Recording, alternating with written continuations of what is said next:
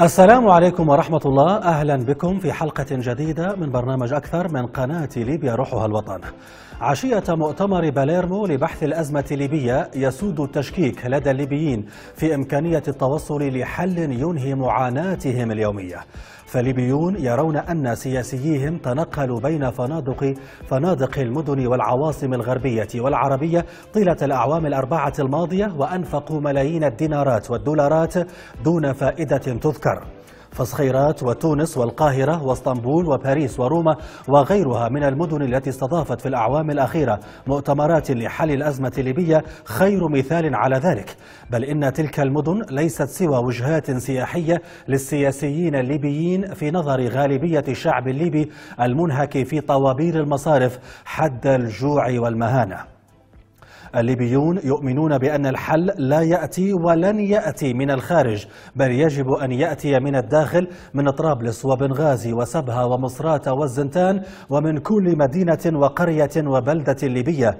فالمنطق يقول إن كان ثمة أمل ولو ضئيلا جدا لإنهاء الخلافات بين السياسيين الليبيين فإنهم يجب أن يجلسوا على طاولة ليبية في ليبيا.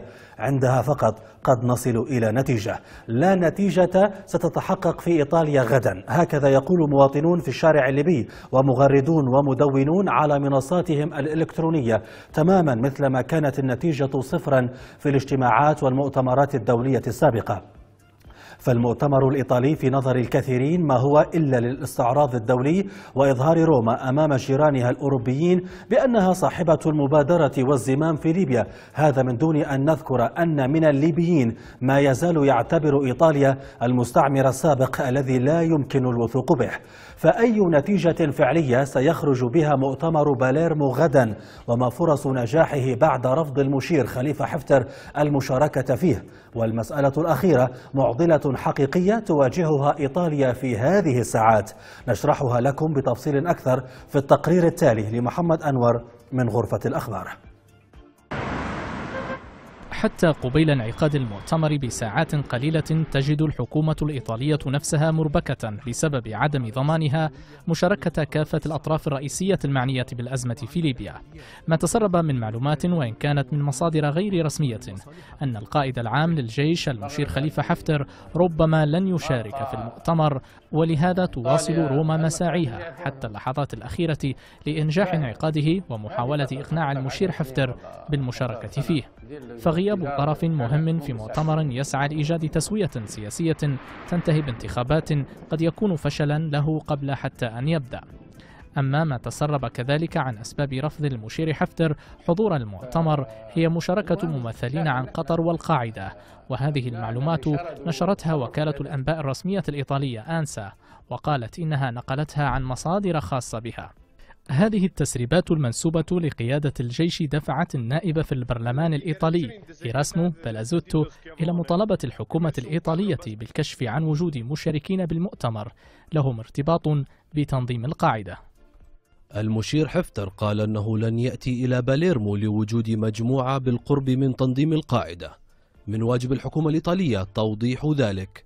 نحن بالفعل نشعر بالفضول ونطلب معرفة من هم محاورون في ليبيا. تسريبات يمكن ربط جزء منها بتصريحات لنائب رئيس الوزراء وزير الداخلية في الحكومة الإيطالية. ماتيو سالفيني عندما زار قطر نهاية الشهر الماضي واعتبرت مستفزة خاصة لقيادة الجيش والبرلمان اللذين يعتبران قطر ممولة لتيارات ومجموعات مسلحة ساهمت في عدم استقرار البلاد. تصريحات سالفيني في تسجيل مصور من الدوحة قال فيها إن قطر سيكون لها حضور مميز في المؤتمر وبأنه اتفق مع الدوحة على كيفية تحقيق الاستقرار في ليبيا. وهو ما طرح عدة تساؤلات حول دور قطر في المؤتمر بل إن البعض تساءل حينها هل بدأت الهيمنة القطرية على مؤتمر باليرمو؟ وبعيدا عن نجاح روما أو فشلها في ضمان حضور كافة أطراف الأزمة في ليبيا للمؤتمر سيبقى السؤال ما الجديد الذي سيخرج من باليرمو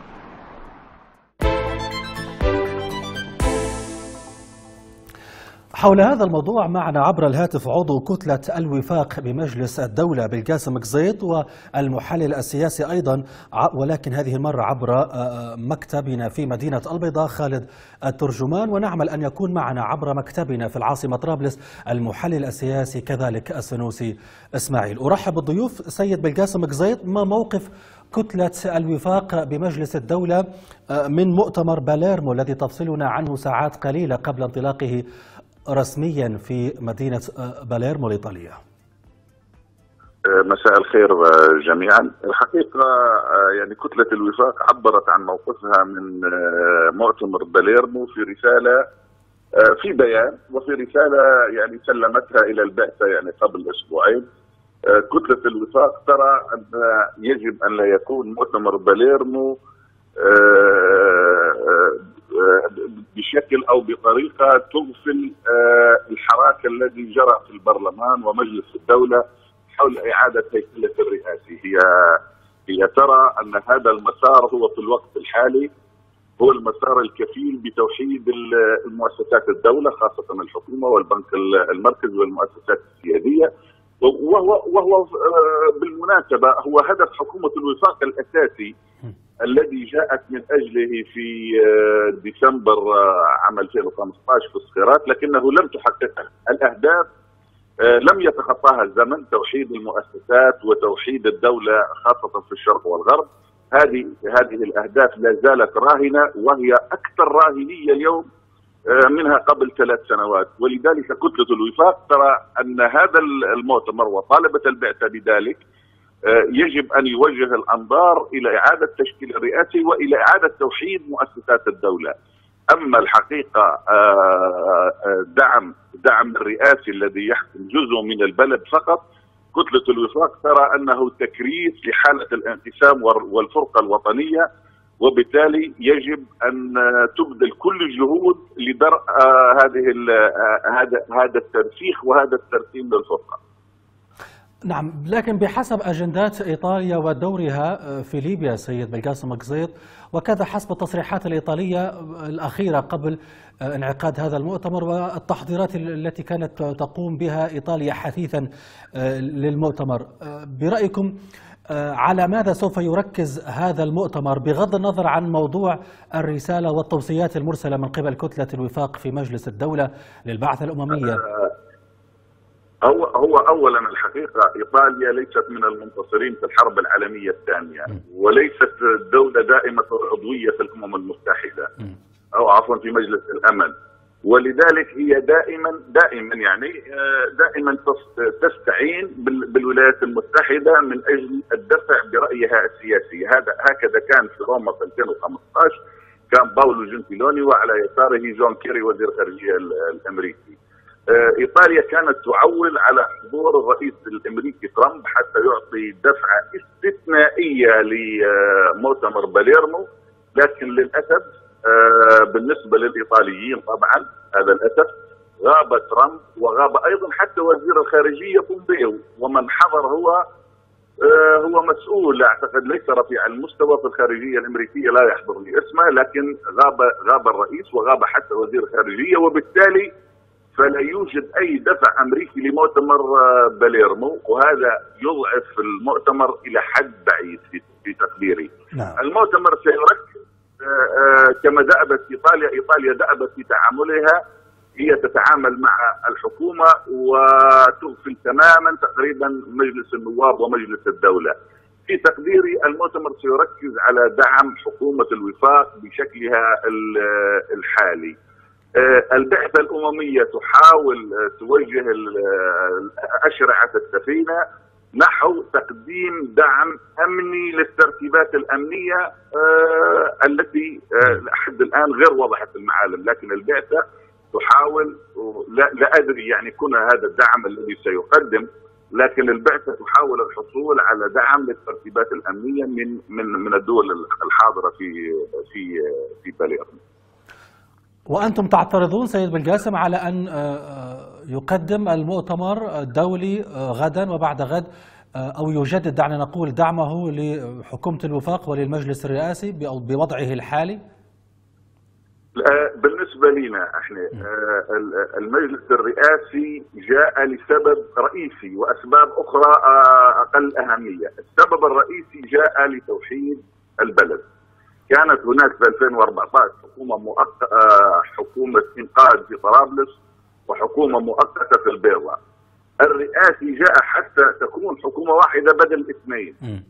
في تقديري هذا الهدف الأساسي، هناك أهداف أمنية وأهداف اقتصادية بالتأكيد، لكن الهدف الكبير والهدف الأساسي هو ما دام لم يتحقق هذا الهدف بالنسبة لنا كل الدعم سواء للرئاسي هذا أو غيره، إذا كان هذا الرئاسي لا زال مطروح على أجندته.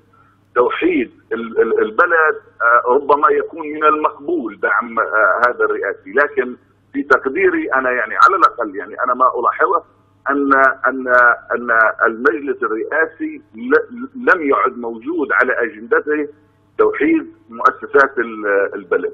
وبالتالي الحقيقة دعم حكومة لطرابلس فقط بالنسبة لنا هذا مرفوض رفضا مطلقا نحن ندعم المجلس الرئاسي كائنا من كان فيه الذي يسعى حثيثا لتوحيد البلد لكن إذا كان هذا الهدف ليس أصبح آه، ليس على قائمة أولويات المجلس الرئاسي فنحن سنكون في صف المعارضة وليس في صف الدعم. أيضا مسألة الخطاب الذي أرسلتموه للبعثة الأممية بخصوص مؤتمر باليرمو سيد بالقاسم. ما دواعي أن تقوموا ككتلة وفاق بإرسال خطاب أو بيان منفرد في مجلس الدولة بخصوص هذا المؤتمر وما قد يخرج عنه؟ في الوقت اللي يشارك باسم مجلس الدولة مجتمعا رئيس المجلس خالد المشري. لا هو هو الحقيقة يعني أعتقد أن المجلس مشارك بوفد واسع يعني مكتب الرئاسة أعتقد كله موجود الرئيس والنائب الأول والنائب الثاني نعم. لكن هذا لا يعني أن موقف كتله الوفاق هو موقف المجلس يعني أنا أعتقد أن هناك يعني هناك فرق يعني بين موقف المجلس طيب برأيكم كيف يختلف موقفكم عن موقف رئاسة مجلس الدولة المشاركة في المؤتمر؟ عموما عموما المفترض ما يكون المفترض ما يكونش موقف الرئاسة، هو الرئاسة المفترض أن تعبر عن آه، موقف المجلس مجتمعا، لكن في تقديري آه، آه، الاكثر الأكثر تاكيدا على فكره توحيد المؤسسات في هذا الوقت وعدم تقديم أي دعم للرئاسي والبحث في بديله إذا كان غير قادر على على توحيد المؤسسات هذه الفكرة من يصلح بها عاليا ومن يتبناها في مجلس الدولة هو كتلة الوفاق. إلى أي آه، آه، يعني درجة موضوع مشاركة المشير خليفة حفتر آه، مهمة برأيكم في مؤتمر باليرمو خصوصا وأن أخبار آخر ساعة سيد بالقاسم مكزيد تفيد بأن قائد الجيش المشير خليفة حفتر رفض المشاركة في هذا المؤتمر الإيطالي. أنا في تقديري يعني كل المشاركات مهمة وكل المشاركات غير مهمة، الأربعة الكبار اذا جاز أن نسميهم هكذا. هم الحقيقة يذهب ذهبوا إلى باريس وسيذهب بعضهم أو كلهم إلى باليرمو. ليس لبحث عن حل أو أو لنقاش المشكلة الليبية بشكل جدي، هم يذهبون هناك حتى يرسخ يرسخون أنفسهم كلاعبين أساسيين في القضية الليبية، ولهذا يعني قبل مغادرة باريس أعتقد في يوليو الماضي آه، في فرنسا في, في قناة فرنسا 24 الجميع غسل يديه من من اللقاء. هذا ما سيحصل في باليرمو حتى إذا حضروا. كل لاعب سيكرس نفسه طرف أساسي وأنه من الأربعة الكبار في ليبيا وأنه لا غنى عنه. لكنه سيكفر بكل ما يقال داخل الجلسات عند مغادرته قبل وصوله إلى المطار. ولهذا أنا أعتقد أن وجودهم مهم وعدم وجودهم آه، يعني لا أهمية كبيرة لوجودهم أو لغيابه. هو المؤتمر إجمالا لن ينتج حل. آه، ربما تكون آه، الأهمية أو عدمها بالنسبة للدور اللي يلعب أحد الأطراف. لكن بالنسبة للقضية الليبية لن تتقدم سواء حضر المشير حفتر أو غاب حضر السراج أو غاب حضر عقيله أو غاب لا أعتقد من الواضح أنكم لستم متحمسين كثيرا لهذا المؤتمر. هو هو بصراحة أنا ما شفتش حد متحمس له الا الطليان حتى الدول الكبرى الأخرى تتكلم عن ضبابية عن عدم فهم عن عدم حماس. هذه حتى الدول الغربية الكبرى اللي تعتمد عليها إيطاليا في دعم المؤتمر والدليل عدم مشاركتها بمستوى عالي. لو كانت الولايات المتحدة متحمسة لشارك الرئيس أو وزير الخارجية على الأقل. ولو كانت بريطانيا متحمسة لشارك مستوى رفيع أيضا لكن من الواضح أن حتى الدول الغربية غير متحمسة. شكرا جزيلا بالقاسم قزيط عضو مجلس الدولة عضو كتلة الوفاق بالمجلس على هذه الإجابات. أتحول الآن إلى ضيوفي في التحليل السياسي من البيضة خالد الترجمان ومن طرابلس السنوسي إسماعيل.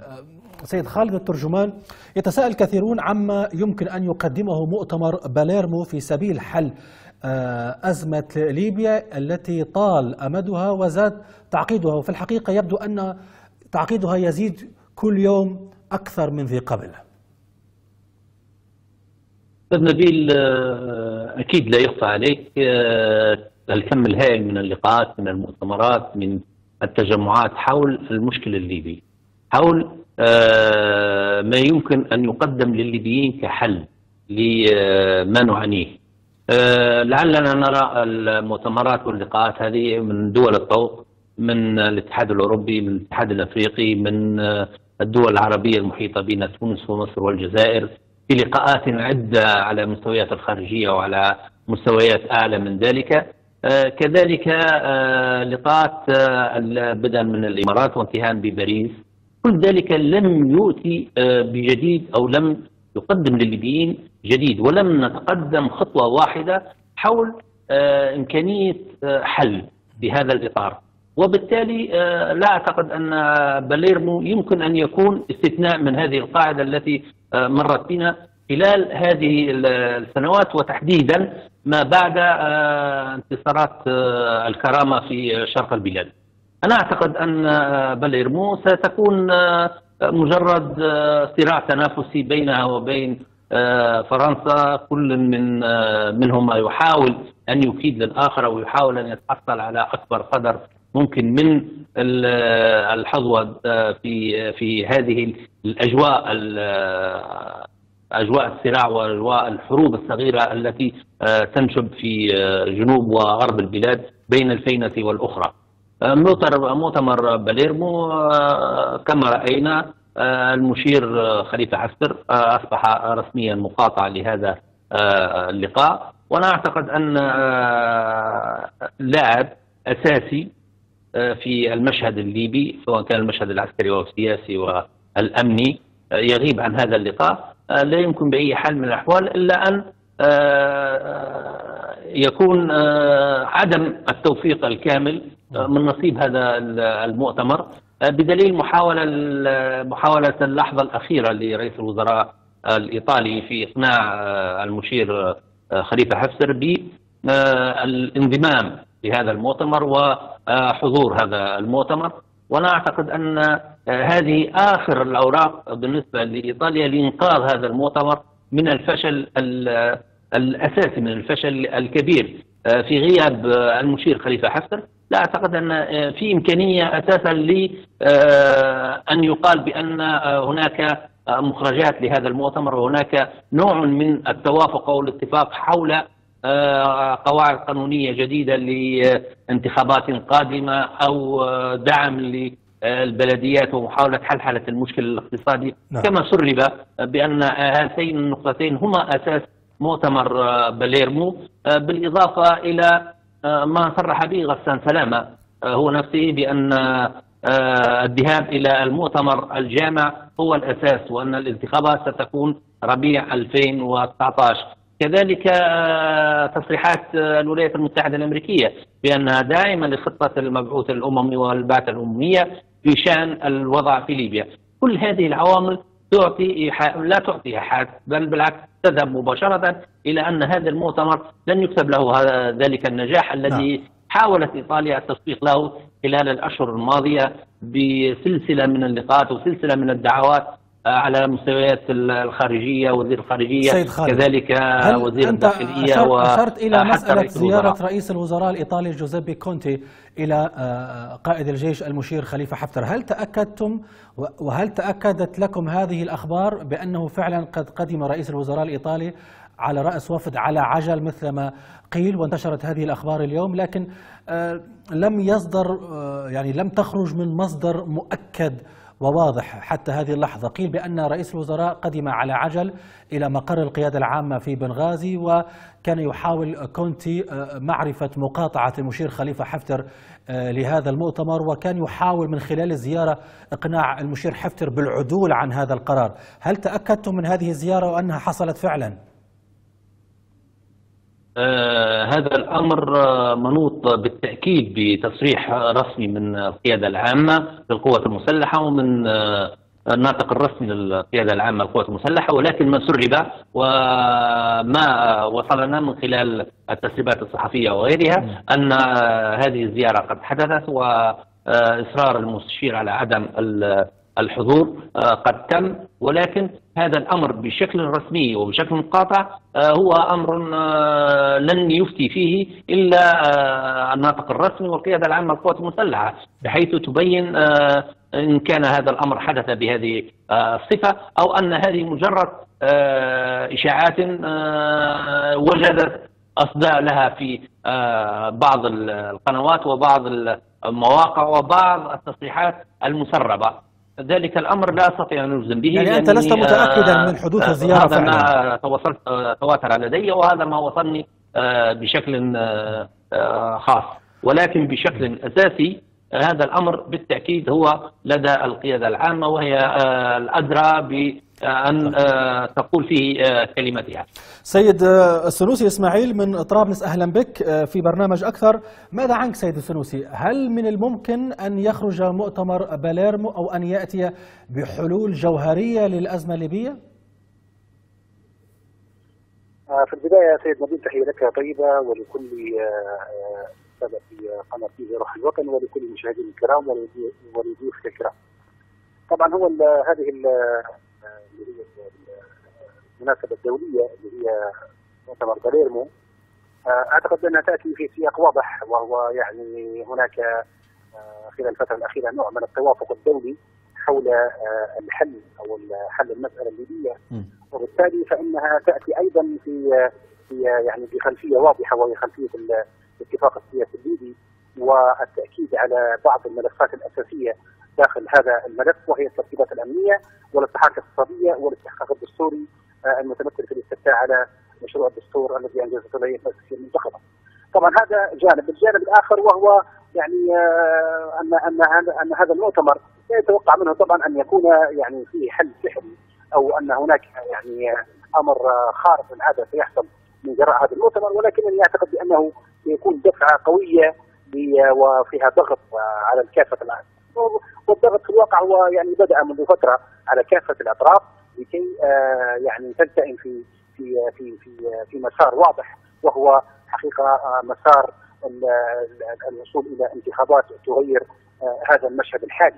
وهذا طبعا يتطلب يعني أمور مهمة جدا قبل ذلك منها طبعا توحيد المؤسسات وتوحيد مقدمتها الجيش الليبي وأيضا إنهاء الأجسام الموازية لحكومة الوفاق وكذلك طبعا التزام آه، اللي هي حكومة الوفاق بالاشراف على خطة آه، إنقاذ اقتصادي للبلاد لأن طبعا آه، ربما أغلب التوتر الحاصل في البلاد هو بسبب صراعات ناتجة عن فساد على نعم. على على على ثروة البلاد وأيضا بسبب الأزمة الاقتصادية الخانقة التي يعيشها المواطن الليبي وبالتالي فان هذا الأمر أخذ يعني حيز مهم جدا من اهتمام المجتمع الدولي في الفترة الأخيرة وكذلك ما يتعلق ب ما يلوح في الأفق من من محاولة الوصول للضغط من أجل يعني تغيير المشهد السوري عن طريق انتخابات. وهذه الانتخابات تتكلم عن قاعدة دستورية والقاعدة الدستورية طبعا أعتقد لن تكون إلا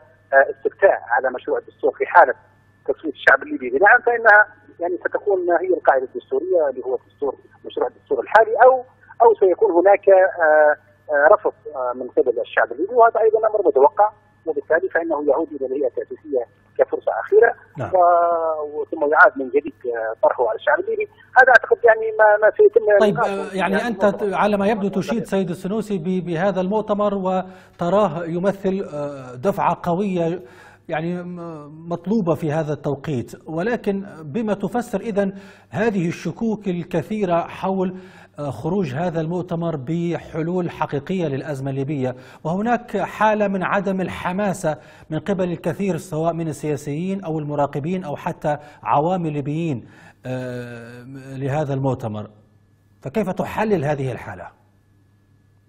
والله يا سيد هو طبعا تحليل هذه الحالة ربما يعود إلى ان أطراف آه، أنا أسميها أطراف تحاول التأزيم وتحاول التوتير توتير الأجواء بدل من تلطيف الأجواء بحيث يكون هناك حلول دائما يعني آه، بين الأطراف الليبيه، طبعا هي في نهاية المطاف هو مؤتمر يضم أطراف ليبيه وهي التي يتعين عليها أن تتفق وبالتالي فإن المجتمع الدولي لا يملك إلا أن يدعم هذه الأطراف في كل ما تتفق عليه.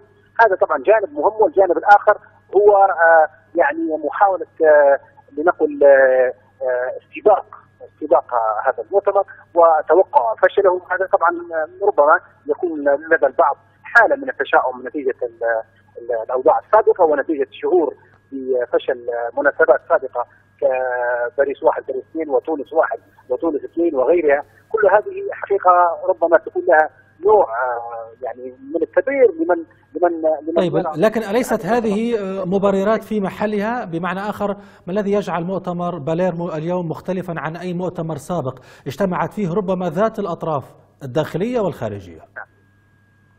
نعم هو المختلف شيء. واحد أعتقد بان حدوث تقارب يعني بين أعضاء المجتمع الدولي سواء الإقليمي أو أو الدولي يعني ككل. وبالتالي فإن هذا هو ربما ما سيكون هناك فارق يعني. حتى ما التقارب في ماذا بالضبط سيد السنوسي؟ نعم. التقارب الدولي الذي تتحدث عنه في ماذا بالضبط؟ والذي يحصل اليوم ولم آه، يحصل سابقا. نعم في ضرورة الدفع بالعملية السياسية في ليبيا وتوحيد المؤسسات وكذلك يعني أصبح الأمر أيضا يتعلق بحق الشعب الليبي في في الانتخابات وفي أيضا في أن يعني يكون هناك نوع عدالة في توزيع الثروة بحيث تكون هناك استقرار في ليبيا، طبعا ربما البعض يقول بأن المجتمع الدولي يعني من هو لكي يعني هل هو جهة خيرية لكي يعني يأتي بحق الشعب الليبي؟ ولكن هذا طبعا واضح من خلال دراسات ومن خلال يعني وجود أطراف دولية فاعلة داخل ليبيا من كالبعث الامميه وسفارات وغير ذلك كلهم درسوا الحاله الليبيه وجدوا بأن آه، الاستقرار ليبيا أمر مهم جدا للمنطقة وبالتالي فإن هذا الاستقرار لا يمكن أن يتحقق في ظل أزمة اقتصادية خانقه في ظل عدم العدالة في توزيع الثروة آه، النفطية وليبيا طبعا بطبيعة الحال يعني تنتج يعني رقم لا بأس به صرح به أيضا غسان سلامة داخل مجلس الأمن نعم. وأشار بإشارة واضحة إلى أن المشكلة في ليبيا بالاساس تعود إلى صراع آه، مرير على الثروة وعلى النفوذ. هذا طيب. كله طبعا يتطلب أن يكون هناك آه، يعني برامج واضحة لمعالجة هذه المشاكل. سيد خالد الترجمان ما رأيك في هذه الأسباب التي آه، قدمها السيد السنوسي إسماعيل؟ ويرى بأنها تجعل من مؤتمر باليرمو مختلفا عن المؤتمرات السابقة. أنا سبق وأن حدثتك عن رأيي في مؤتمر باليرمو نعم. لكن ما رأيك في رأي سيد السيسي؟ المؤتمرات والاجتماعات والتجمعات واللقاءات التي تمت آه، بخصوص ليبيا وذكرت لك بوضوح بأن مؤتمر باليرمو لن يختلف عن هذه المؤتمرات على على الإطلاق بل قد يكون أكثرها فشلا لربما آه، سيفكرون في آه، شيء واحد للخروج من هذا المازق في التأكيد على إعادة تدوير الواقع الموجود سواء كان بالنسبة للرئاسي أو النواب أو المجلس الأعلى للدولة. وكذلك ربما سيخرجون علينا بمسألة لها علاقة بالناحية الاقتصادية من حيث فكرة إيجاد آه، آلية لدعم البلديات آه، حتى تقوم بتخفيف الأعباء على المواطنين آه، الذين كما ذكرتهم يقفون صفوف طويلة في سبيل الحصول على جزء من مرتباتهم الشهرية ليقضوا بها حاجات حياتهم الأساسية. إضافة إلى أن مسألة البحث عن قواعد قانونية جديدة لإنتاج انتخابات تشريعية ورئاسية في البلاد سوف لن لن يتمكنوا من مثلا وضع مسألة الاستفتاء على مسودة الدستور. باعتبار أن مسودة الدستور هناك لغط كبير هناك رفض كبير خاصة في شرق البلاد لهذه المسودة لعيوب نعم. أساسية فيها وقامت الكثير من الندوات والحوارات لكن كيف تستقبل هذا هذا التفاؤل؟ وأن يعني أنت تقول سيد خالد بأن هذا المؤتمر قد يكون أكثر المؤتمرات الدولية فشلا بخصوص ليبيا. لكن في المقابل الضيف الآخر يرى بأن هذا المؤتمر يعني يمثل دفعة قوية آه، يعني آه، للأزمة الليبية للأمام. يعني كيف تستقبل آه، هذا التفاؤل الذي لا يبدو أنك يعني تملك مثله بخصوص المؤتمر. ما دواعي الحكم مسبقا مثل ما كان يعني يقول ونفهم من السيد السنوسي إسماعيل على مؤتمر لم يبدأ بعد. بالنسبة لي شخصيا لا أتفائل على الإطلاق لأنني آه، منذ 2011 وأنا جزء مما يحدث على أرض الواقع وأعرف كيف تدور الأمور في هذه في هذه في هذه الأحداث.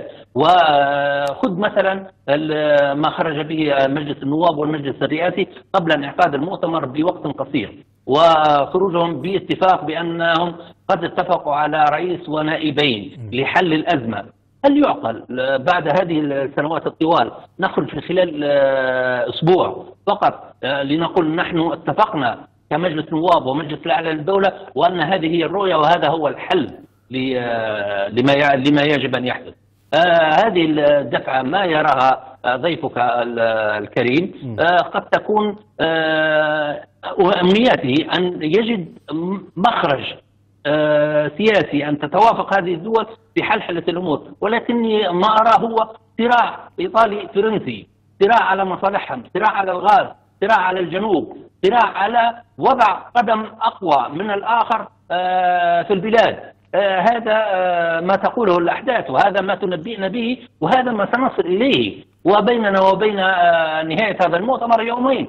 سنرى آه، كيف تؤول الأمور في هذا المؤتمر ومخرجات هذا المؤتمر وما يمكن أن يقدمه للليبيين.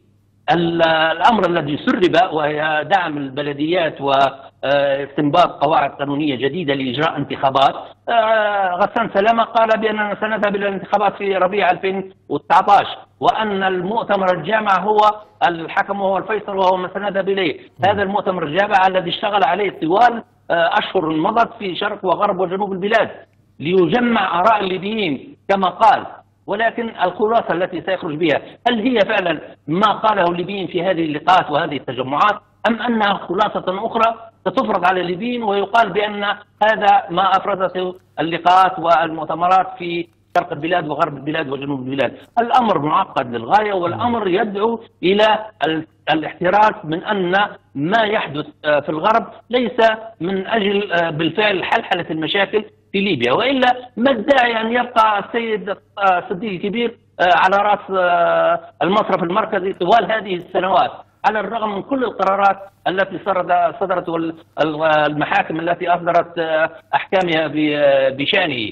آه، ثم آه، تمديد آه، المجلس النواب لأنفسهم وانبثاق المجلس الأعلى للدولة على غير المشروعية التي اقرها أقرتها السيرات.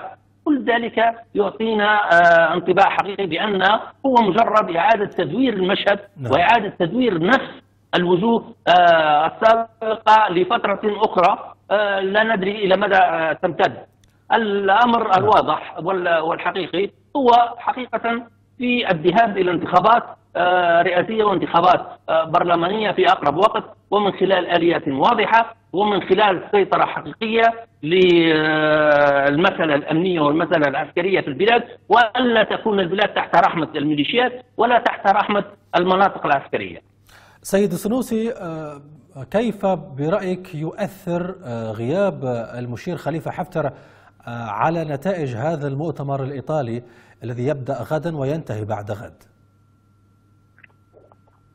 آه، يعني أنا بالفرض أنه سيغيب يعني أنا أعتقد بأنه لا يمكن آه، أن يغيب. لماذا؟ لأن آه، يعني شخص سياسي وعسكري يتحكم يعرف بأن الغياب يعني تهميش ونشهد بأن هناك مؤتمرات دولية سابقا حتى قبل الاتفاق السياسي أطراف سياسية بحجم مثلا رئيس المؤتمر الوطني آه، عندما غاب عن المشاهد الدولية يعني همش وخرج من المشهد السياسي. لذلك أعتقد ان الغياب هذا يعتبر يعني مستبعد جدا حقيقة. غياب المشير خليفة حفتر. طبعا آه، لكن أقول لك بأنه إن غاب السيد خليفة حفتر بكل تأكيد هذا سيؤثر وسيجعل مسألة وهي تعتبر من أهم المسائل وهي توحيد مسألة توحيد الجيش الليبي وتنفيذ الاستحقاقات الواردة فيما يخص الجيش الليبي في الاتفاق السياسي خاصة في المبادئ الحاكمة وفي الترتيبات الأمنية وفي غيرها من من النقاط المهمة التي تخص الجيش.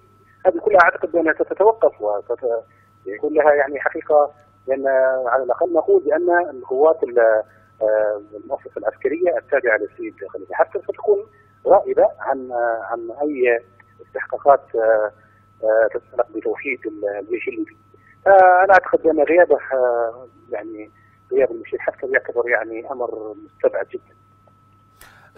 يعني أنت تقول بانه لن يحصل ولكن حتى وكالة الأنباء الإيطالية الرسمية وحتى الخارجية الإيطالية أكدت بأن المشير خليفة حفتر لن يشارك في مؤتمر باليرمو وقيل في وكالة أنسا الإيطالية بأن سبب آه، آه، هذا الرفض هو حضور آه، ممثلين عن تنظيم القاعدة أو مقربين من تنظيم القاعدة وكذا ممثلين للدولة القطرية غدا في مؤتمر باليرمو والأمر مؤكد ليس في محل الشك سيد السنوسي. أعتقد أن هذا يعني حقيقة كما ذكرت لك بان مصادري أنا تقول بأن هناك تسريب لسبوتنيك آه، عبر شخص لم تذكر اسمها وهناك أيضا آه، كلام نقل عن مسؤول لم يذكر اسمه أيضا ايطالي آه، موقع المرصد هذه كلها حقيقة لا تعتبر يعني أدلة على أن لكن في ظل غياب المشير حفتر عن المؤتمر هل هل يعني بالتالي تتعثر فعلا جهود إيطاليا في التحضير وفي وفي إقامة هذا المؤتمر التي كان مشكوك فيها ومنتقدة حتى من داخل إيطاليا نفسها؟ هو هو مثلا خلينا نقول لك نكون معكم مثلا بطريقة ثانية هو ربما الأمور الفنيه والأمور العسكرية كما ذكرت لك التي تتعلق بتوحيد الجيش الليبي نقول أكيد ستتأثر بهذا الغياب. لكن أعتقد بأن السيد آه، عقيل صالح هو هو أصلا ليس هو يعني هناك على الأقل في في في المؤسسة العسكرية في الشرق يعتبر هو القائد الأعلى للقوات المسلحة الليبية. بالتالي فإن أعتقد إن كان هناك آه، يعني شيء سيكون هو أن السيد هو الذي سيبث في أي شيء يتعلق ب آه، يعني الجيش الليبي في المنطقة الشرقيه. نعم سيد خالد الترجمان يعني يشكك السيد السنوسي إسماعيل في عدم حضور آه، المشير خليفة حفتر وحتى وإن لم يحضر مثل ما فهمنا من السيد السنوسي إسماعيل فإن هذا يعود بالسلب على على على على المشير نفسه وعلى القوات المسلحة وعلى يعني آه، استبعادهم من أي استحقاقات يمكن أن تخرج بها آه، نتائج المؤتمر الإيطالي.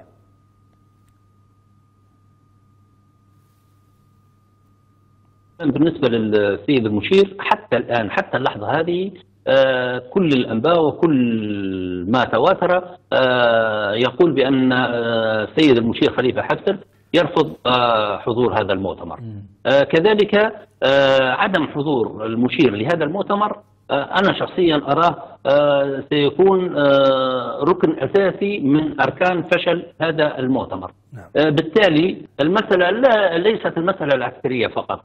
المشير خليفة حفتر هو آه، موجود على أرض الواقع.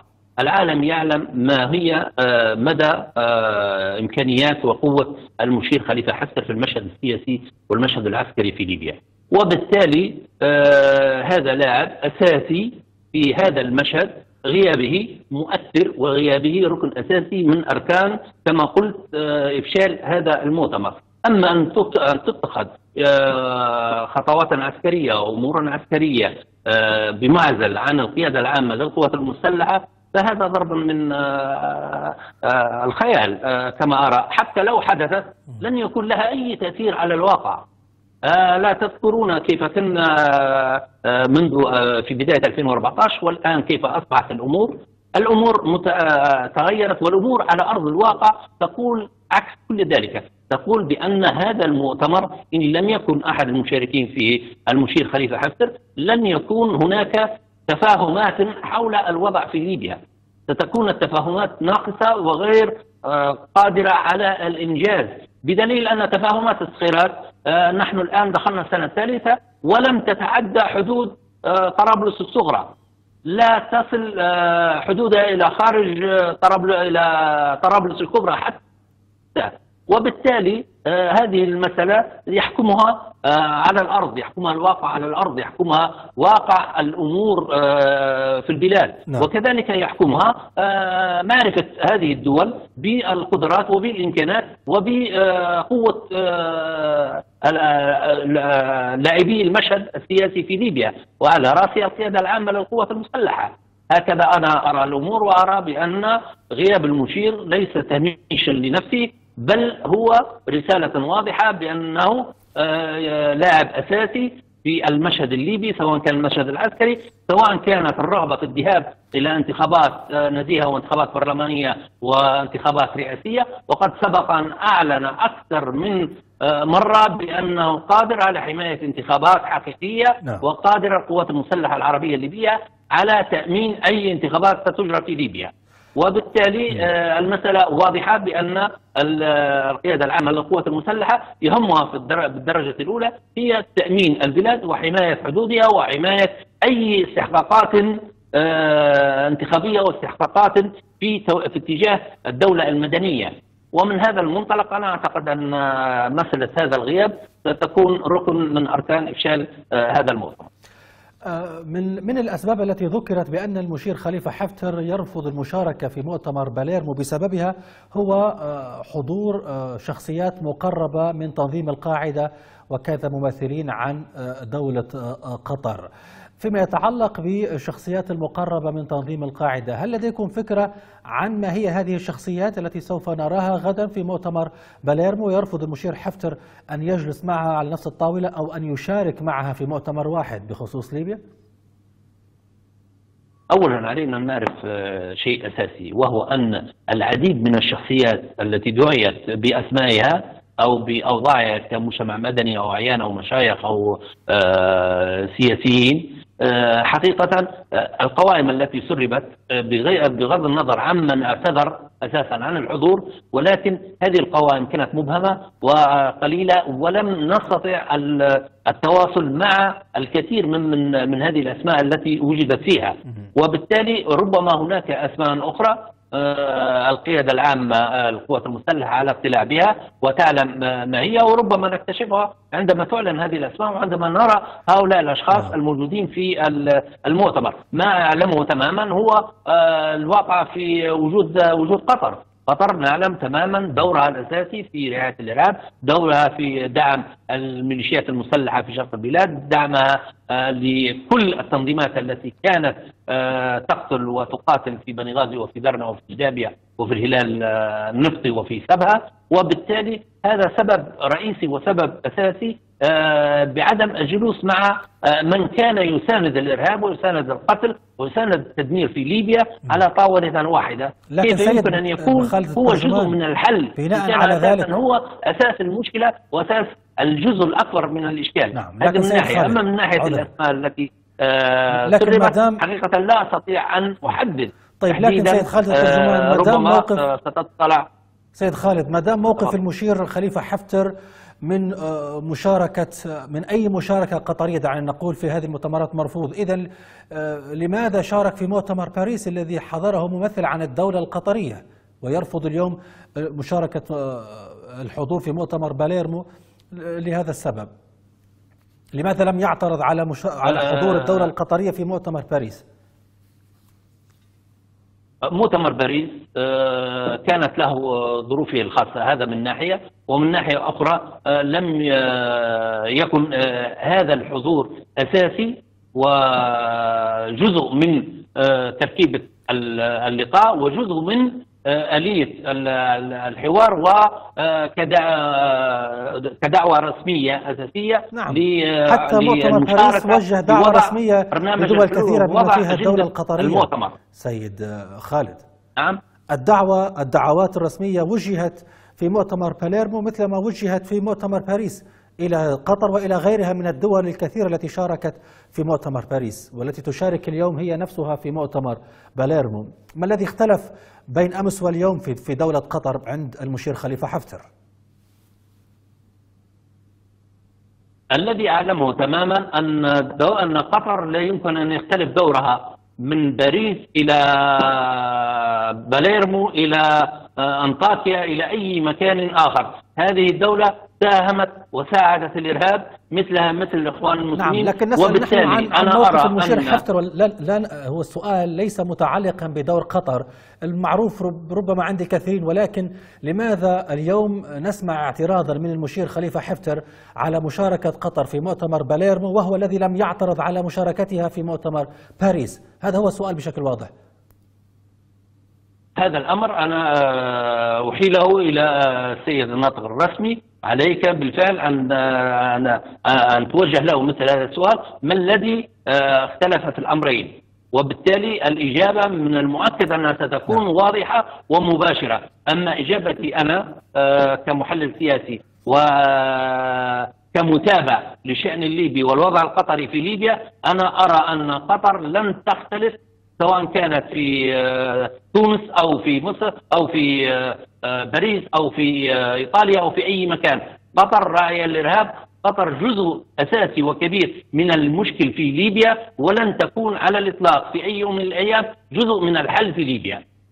هذا ما سيد السنوسي إسماعيل ما رأيك في المقابل أيضا في في الأسباب التي قيل بأن المشير خليفة حفتر أبداها في رفضه للمشاركة في هذا آه، آه، الاجتماع الدولي في باليرمو الإيطالية مسألة أن يعترض على مشاركة أو حضور قطر في المؤتمر وكذا آه، اعتراض على حضور شخصيات ليبية مقربة من تنظيم القاعدة والمتورطة في جرائم إرهاب كثيرة في حق الشعب الليبي.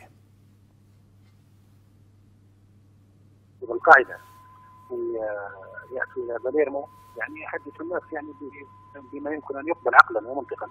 طبعا هذا أمر غير صحيح يعني لأن هناك شخصيات تبع تنظيم القاعده بتكون حاضرة في مؤتمر يمثل الأجسام السياسية الليبية في واقع الأمر ولا يمثل غيرها. طبعا هي الأمر المهم جدا اللي نعرفوه في النقطة هذه هو أن يعني لا داعي لنا نحن حتى كمحللين سياسيين ليبيين أن نخوض في صراعات العربية ونتمنى نحن أن من هذه الدول العربية كلها أن يا إما أن تساعد الليبيين على أن يتفقوا ويتوافقوا بينهم أو أنها تسحب يدها من من الملف الليبي وتكون على الحياد آه، الإيجابي على الأقل. لكن بكل الأحوال آه، نحن آه، نتأمل خيرا أن يكون هناك تقارب في هذا المؤتمر بين كل الدول سواء كانت عربية أو أو دول أوروبا أو غير أو غيرها من الدول المهتمة بالملف الليبي والتي ستكون حاضرة في مؤتمر باليرمو أن يكون هناك تقارب بينها بأن الحل في ليبيا هو واضح جدا يتمثل في آه، توحيد المؤسسات الليبية توحيد الحكومة الليبية وتنفيذ الاتفاق السياسي أن يكون لدينا آه، آه، يعني لنقل جدول واضح زمني إلى إلى للوصول إلى الانتخابات وكذلك ان ان أن تكون هناك مساعدات دولية واضحة للليبيين في سبيل بناء مؤسساتهم وفي سبيل أيضا تنفيذ الخطط اللازمة آه، لتوحيد المؤسسات الأمنية والعسكرية وما يتعلق أيضا بالترتيبات الأمنية وما يتعلق أيضا بخطط الاصلاحات الاقتصادية التي آه، ينتظر منها الكثير أن تغير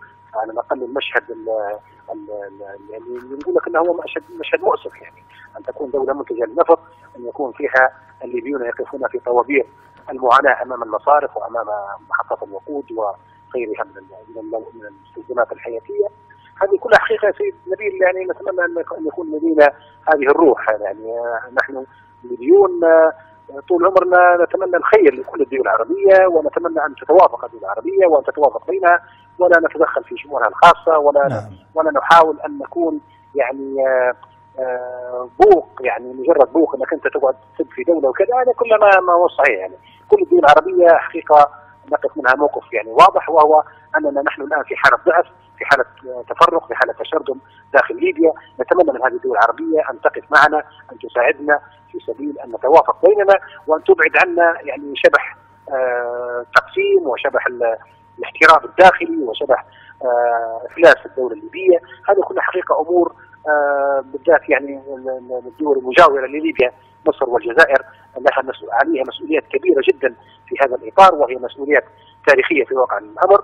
لذلك نتمنى حقيقة أن يكون هناك حضور من الجميع وفي وبالذات يعني المشير حفتر وكذلك أن يكون هناك يعني تفاؤل يعني على الأقل نقوله الآن بأن يكون هناك لدينا مخرجات جيدة في مؤتمر باليرمو هذا سيبدأ لكن سيد السنوسي قيادة الجيش وكذا رئاسة البرلمان تعتبر الدولة القطرية ممولة لتيارات ومجموعات مسلحة داخل ليبيا ساهمت في عدم استقرار البلد وأرقت الليبيين وما زاد الطين بلة هي التصريحات الأخيرة لوزير الداخلية الإيطالي ماتيو سالفيني من داخل العاصمة القطرية الدوحة وكان يتحدث ويقول بأن سوف تكون هناك مشاركة مميزة من دولة قطر في هذا المؤتمر. هذا ما استفز يعني الكثير من ال من ال من الشخصيات السياسية بما فيها قيادة الجيش وربما حتى رئاسة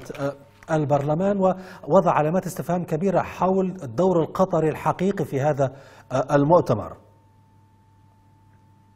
هو خلينا يكون معك واضح بأن مثلا قطر والإمارات يعني هي دول منخرطة في الصراع الليبي هذا أمر واضح يعني لا يحتاج كلام يعني ونحن كما ذكرت لك بأن الآن هناك توافق دولي بما فيها هذه الدول أيضا بهذه بهذه الوساطة ربما الأممية التي كانت خلال زيارة غسان سلامة وأيضا بسبب هذا الزخم الكبير الذي أتى بعد مؤتمر باريس وهذا وهناك تقارب كبير في واقع الأمر حصل في مؤتمر باريس بين هذه الدول وبين الاطراف السياسيه الليبيه بكل أسف طبعا لم يتم تنفيذ ذلك على الأرض لاسباب عديده ولكن نعم الخير في هذا المؤتمر أن يكون أن يكون فيه تقريب يعني أكثر لوجهات النظر فيما يخص الملف الليبي وحل هذه المشاكل في ليبيا.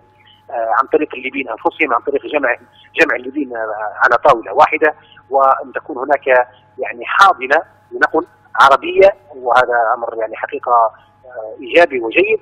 ويعني أن تكون الخلافات بين هذه الدول العربية أن تكون بعيدة عن الملف الليبي. يعني نحن الحقيقة في وضع لا يسمح لنا حتى أن نتكلم عن هذه الخلافات العربية العربية. بينما واقع الأمر يقول بأن ليبيا في حاجة إلى شقيقاتها الدول العربية. وبالذات كما ذكرت لك مصر والجزائر وكذلك قطر والإمارات وكل الدول العربية. نحن الآن في وضع حقيقة يا سيد نبيل تاريخي مفصلي يعني يعني دولة حقيقة مهددة بكثير من الأشياء بالأفلاس بالتقسيم بالإرهاب بالهجرة الغير شرعية بتغيير التركيبة الديموغرافية في ليبيا. يعني هذا كله أمور خطيرة جدا في الجميل ربما يعني نحن الآن يعني مهددين بها وبالتالي فإن يعني مسؤولية تاريخية على جامعة الدول العربية وعلى كافة الدول العربية وعلى كل الدول المهتمة بليبيا والتي لها مصالح في ليبيا طبعا منها إيطاليا منها فرنسا منها غير هذه الدول الولايات المتحدة مثلا وروسيا كل هذه الدول. يعني ينبغي ان ان أن يكون بينها آه لنقل توافق حسب قرارات مجلس الأمن وحسب يعني آه الاتفاق السياسي الذي يشرف على الامم المتحدة وكذلك ما يتعلق بما يدور على على الأرض من محاولات هنا وهناك. لنقل لتحديد القوم الليبي هذا كلها حقيقة ينبغي أن تكون أن توضع في الحسبان في كافة الحضور في هذا المؤتمر سواء كانوا محليين طيب. أو دوليين. دعني أسألك سؤال أخير وأيضا للسيد خالد الترجمان، السيد السنوسي إسماعيل طبعا لا يخفى على أحد التنافس المحموم بين فرنسا وإيطاليا للانفراد بحل أزمة ليبيا وهناك اتهامات متبادلة بين البلدين يعني لا تعد ولا تحصى خصوصا بعد مخرجات لقاء باريس قبل نحو ستة أشهر من اليوم. برأيك كيف سوف نشهد هذا التنافس غدا؟ كيف يمكن أن يلقي بظلاله غدا على على مؤتمر باليرمو؟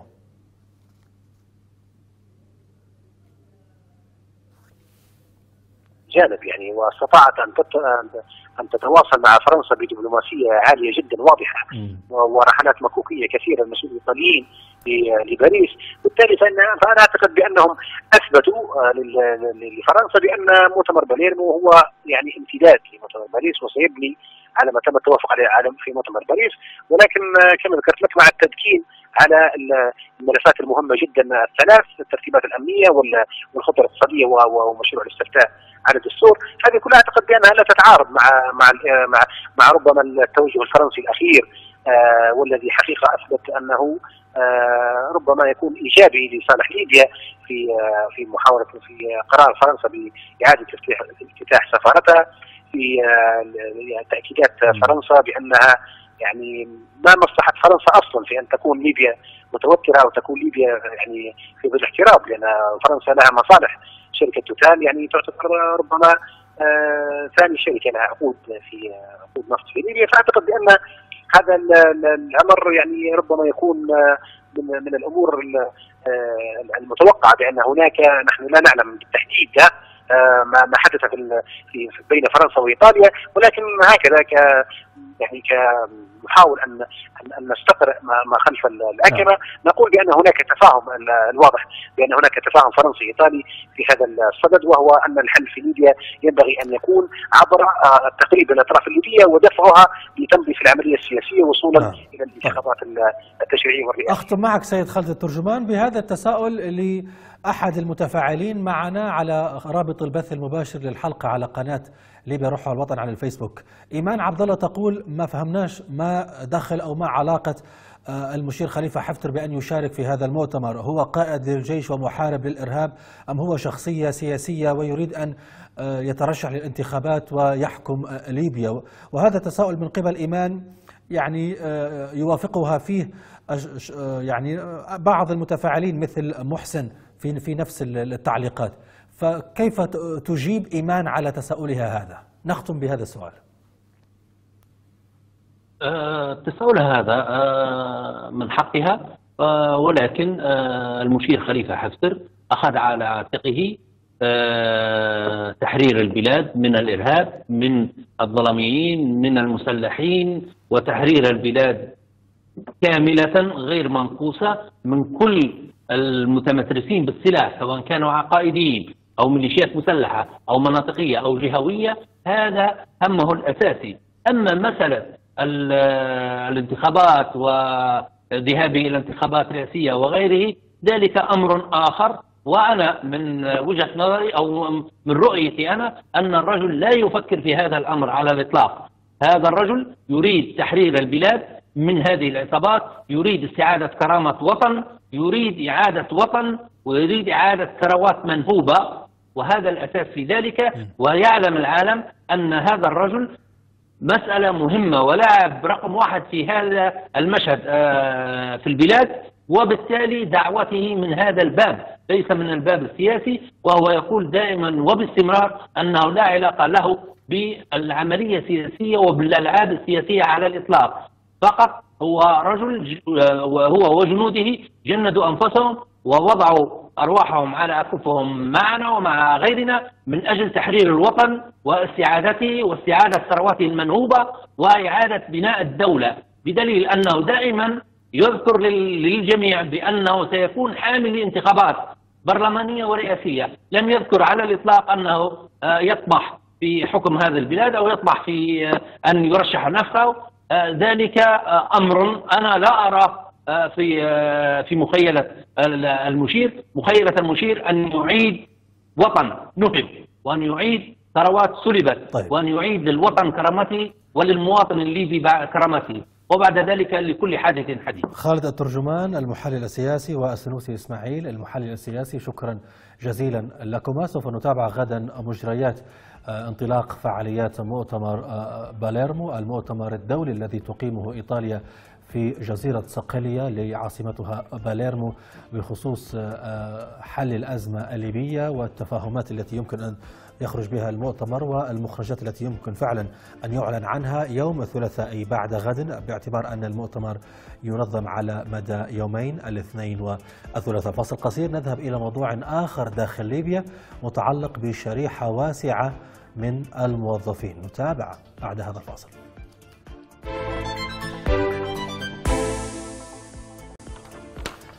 أهلا بكم من جديد في برنامج أكثر. نظمت وقفات احتجاجية في عدد من الجامعات الليبية. اليوم الأحد احتج فيها موظفو الجامعات على عدم زيادة رواتبهم مثل باقي موظفي القطاعات الإدارية في ليبيا كما طالبوا بتوفير التأمين الصحي لهم. في طرابلس خرج موظفو الجامعة حاملين لافتات تفصح عن أهم مطالبهم وشعاراتهم الاحتجاجية كما ألقوا بيانا بالخصوص لوحوا فيه بإضراب عام في حال لم يحقق مجلس النواب وكذا المجلس الرئاسي مطالبهم.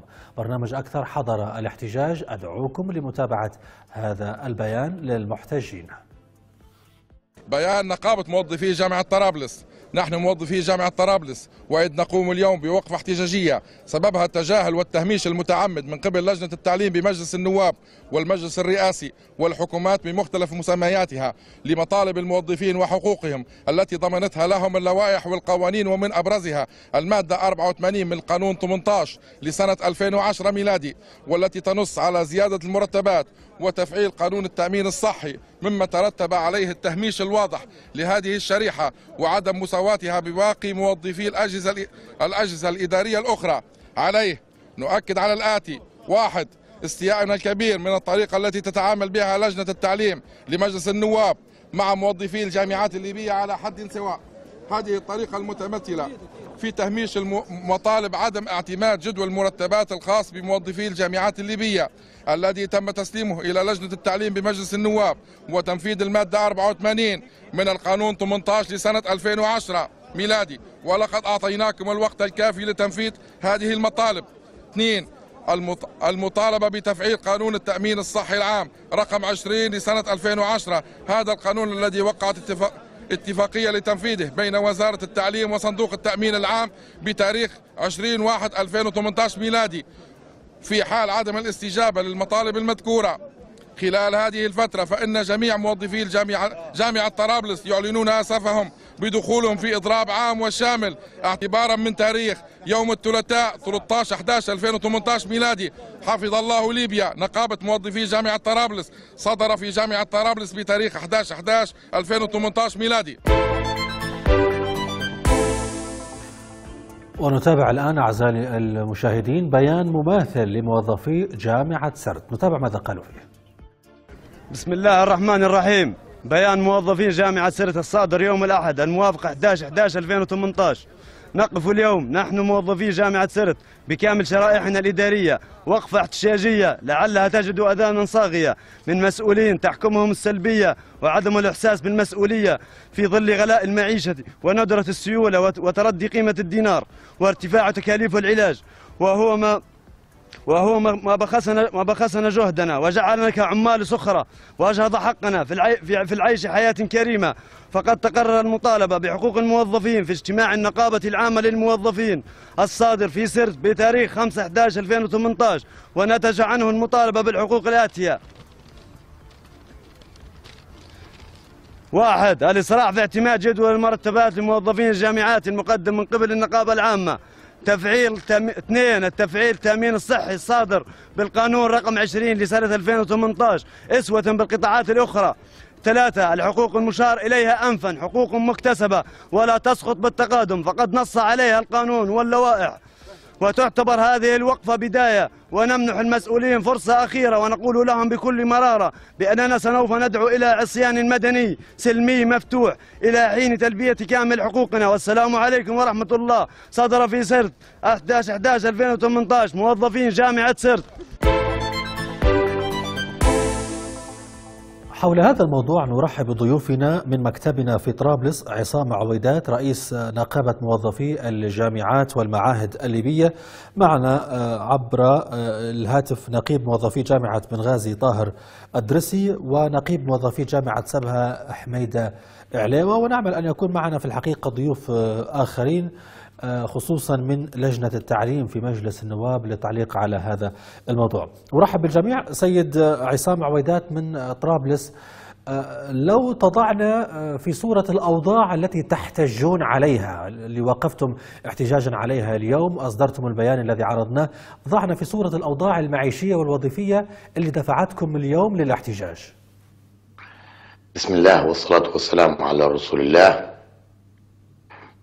الأوضاع المعيشية في البلد كنا عايشين في البلد كنا عايشين في ليبيا نعرف غلاء المعيشة كنا نعرف غلاء الأسعار كنا نعرف الوضع المتردي وسعر الدينار وسقوط سعر الدينار الذي أثر على إنتاجية موظفين الجامعات والمعاهد الليبية. موظفين الجامعات والمعاهد الليبية قاطبة اجتمعوا اجتماعات عدة وطالبوا بإيجاد حل في جميع مراحل وفي جميع مشاكلهم التربوية والتدريبية والتعليمية والمالية أيضا أه. ولكن لم نجد أداة صاغية سواء من المؤتمر الوطني العام سواء من مجلس الثوار سواء من الحكومات المتعاقبة إلى هذه اللحظة مما اضطرنا ونحن كلنا أسف نعم. أن نصل إلى هذه المرحلة طيب صف لنا هذه المرحلة التي تتأسف للوصول إليها. ما أستاذ نبيل أنت كلك أنت شخصية موجودة داخل الوطن عارف غلاء المعيشة عارف عارف الدولار كم يلعب في ليبيا عارف الأسعار الليبية قديش تساوي. لا أنا لا أقصد الظروف بشكل عام وإنما أسأل عن عن عن المرحلة اللي اللي وصلتكم اللي أوصلتكم فيها إلى الاحتجاج وكذا التلويح بإضراب عام. آه، يعني آه، يعني طوال الفترة الماضية كيف تدرج الأمر لديكم حتى وصل إلى آه، أو قد يصل إلى الإضراب العام في في كل الجامعات؟ كويس. حنسرد عليك التواريخ بالتحديد أستاذ نبيل. نعم. ليك ولجميع السادة المشاهدين ولأبنائنا الطلبة ولآبائنا لجميع أمهاتنا الذين ينتظرون أن يتم آه، تخرج أبنائهم من الجامعات نعم. آه، في سنة 2010 بالتحديد 28 يناير 2010 قام المؤتمر الشعبي العام. آنذاك بإصدار قانون رقم 12 بشأن التعليم سنة 2010 وخصوصا المادة 84 فقامت اللجنة الشعبية العامة آنذاك بإصدار لائحة تخص بعض الشرائح من التعليم واستثنت باقي الشرائح. المادة 84 تنص بالتحديد تلتزم اللجنة الشعبية العامة بناء على عرض اللجنة الشعبية العامة للتعليم والبحث العلمي أوضاع العاملين من غير أعضاء من الموظفين والإداريين والماليين والفنيين المعامل والمختبرات والورش وغير ذلك مما تلزم وجودهم العملية التعليمية من حيث قواعد تعيينهم وأوضاعهم المالية ورفع كفاءتهم شؤونهم الإدارية والمالية. ولكن هذه المادة يصدر بحقها أي لائحة وأي قانون عادة يصدر له لائحة إلا المادة الوحيدة هذه لم يتم إصدار لها أي لائحة إلى الآن. نعم. طيب حينما نقول احتجاج موظفي الجامعات الليبية من نقصد بالموظفين هنا في الجامعات؟ يشمل من هذا الاحتجاج بالضبط داخل الجامعات من الموظفين؟ يشمل يشمل جميع الموظفين الإداريين من غير أعضاء التدريس من غير أعضاء هيئة التدريس. بالتأكيد. طيب سيد طاهر الدرسي نقيب موظفي جامعة بنغازي الاحتجاج الذي عرضناه آه، عند موظفي جامعة طرابلس وبعد ذلك جامعة سرت. هل يسري هذا الاحتجاج حتى في جامعة بنغازي هل يشمل هذا الاحتجاج جميع الجامعات في ليبيا؟ جميع موظفي الجامعات يحتجون مع بعضهم البعض؟ أم هناك يعني اختلافات؟ أولا بسم الله والصلاة والسلام على رسول الله. طبعا هذا الاحتجاج يشمل جميع الموظفين في الجامعات الليبية، نحن ننتمي إلى النقابه العامه لموظفي الجامعات الليبية نعم. التي أسست في آه تاريخ 1 1 2018 آه هذا الاحتجاج كان كان سببه آه، تهميش الموظفين في الجامعات الليبيه يعني نحن لدينا قوانين لدينا قرارات لدينا قرار 641 هذا القرار لم يفعل لم ينفذ مش لم يفعل لم ينفذ. هذا القرار صدر في شهر 10 في 2013 أن ينفذ في 1 1 2014 وهي زيادة موظفين الدولة. بنسبة 20% فعل في بعض المؤسسات ولم يفعل في الجامعات الليبيه. بالإضافة إلى لدينا تامين طبي هذا قانون العمل الماده 32 كفلت القانون آه، التامين الطبي. بالإضافة إلى القانون 15 الماده 84 اللي أكدت عليه وجود لائحة تخص الموظفين في جامعات التعليم العالي. هذه القوانين كلها لم تنفذ بينما هناك مؤسسات أخرى نفذت قرارات آه، لائحات خاصة بها قطع آه. جدول مرتباتهم آه، نحن لم لم لم لم لم يلتفت إلينا. من يتحمل مسؤولية عدم تنفيذ هذه القرارات رغم صدورها قبل سنوات في الحقيقة؟ لا نتحدث عن شهر أو اثنين هنا.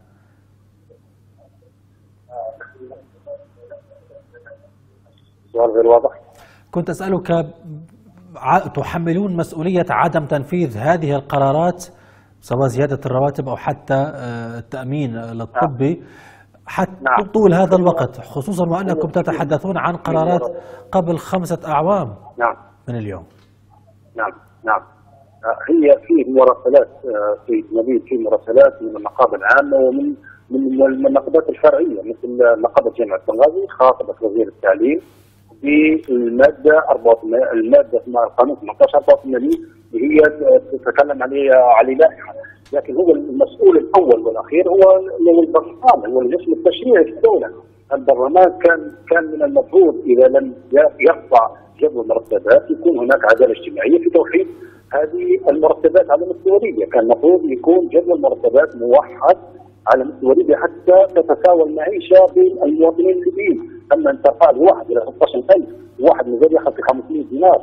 آه شوف أنت شوف المفارقة. يعني كم في الكم؟ تلقى مفارق 20 أو 30 ضعف المرتب اللي ياخذ فيه الموظف في الجامعات الليبية. وأنا أنا ما أتكلمش عن الموظف في الجامعات الليبية فقط، حتى الموظفين الناس الأخرى اللي مرتبات المتدنيه المفروض يكون لهم لائحة ترفع جدول مرتبات أو يكون هناك جدول مرتبات موحد.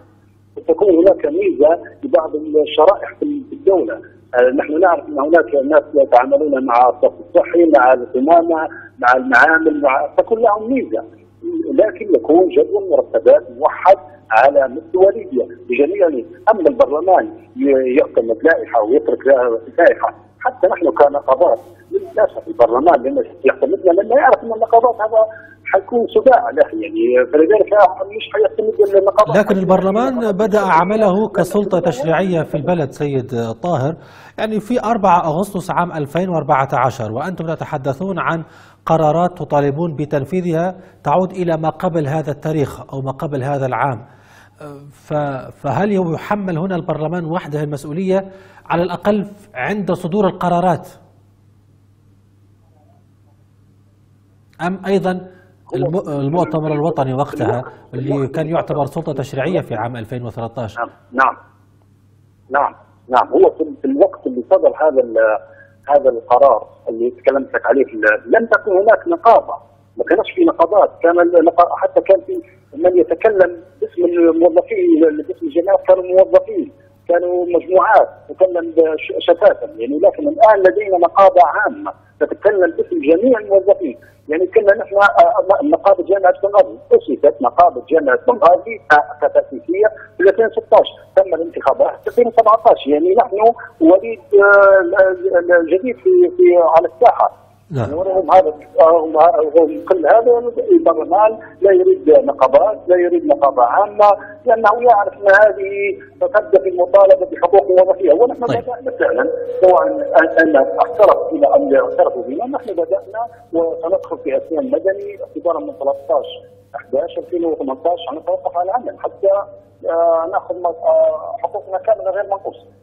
سيد حميدة عليوة نقيب موظفي جامعة آه، سبها. لو تضعنا في صورة آه، الاحتجاج في جامعة سبها هل هو يسير بنفس الوتيرة في جامعة طرابلس وكذا في جامعة بنغازي وقبلها أيضا في جامعة سرت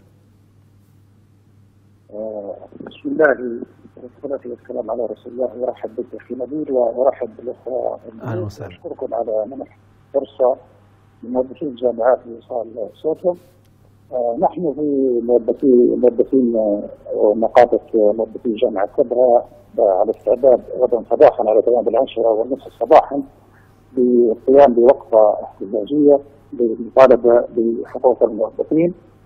وما يحدث اليوم من من وقفات احتجاجية للمطالبة بحقوق الموظفين في الجامعات والمعاهد العليا. هو ما ضمنه لهم المشرع القانون رقم 18 والمادة 84 لسنة 2010 نعم. الذي تم تجاهل تجاهل هذه المادة لا نعلم بقصد أو بدون قصد ومضمون هذه المادة 84 تكفل للموظف حقوقه المشروعة في زيادة المرتب وتأمين صحي وإعادة تصنيف للإداريين والفنيين والمهندسين. آه نحن اليوم في النقابة العامة لا نحمل عداء إلى أشخاص، نحن نتكلم باسم شريحة الموظف في جميع ربوع الوطن الشرق والغرب والجنوب وبناء على الاجتماع المنعقد في جامعة سيرت بتاريخ 5 11 2018 آه تقرر آه الخوض في الوقفات الاحتجاجية ومنها في ضراب عام سيكون يوم الثلاثاء القادم. نعم. أعتقد أنك أخي نبيل سوف تقول ليس يعني يعني ليس وقتها الآن يعني ظروف البلد تعاني من أزمة اقتصادية ولكن نحن نرى الجهات التشريعية والتنفيذية يوميا تصدر في قرارات في زيادة مرتبات واعتماد لوائح لتنفيذ التأمين الصحي لبعض الجهات. وهم لم يتوقفوا لم نرى إلا موظفي التعليم معلمين المدارس في هذا القرار فقط. هل هناك قرارات أخرى تطلعنا عليها يعني؟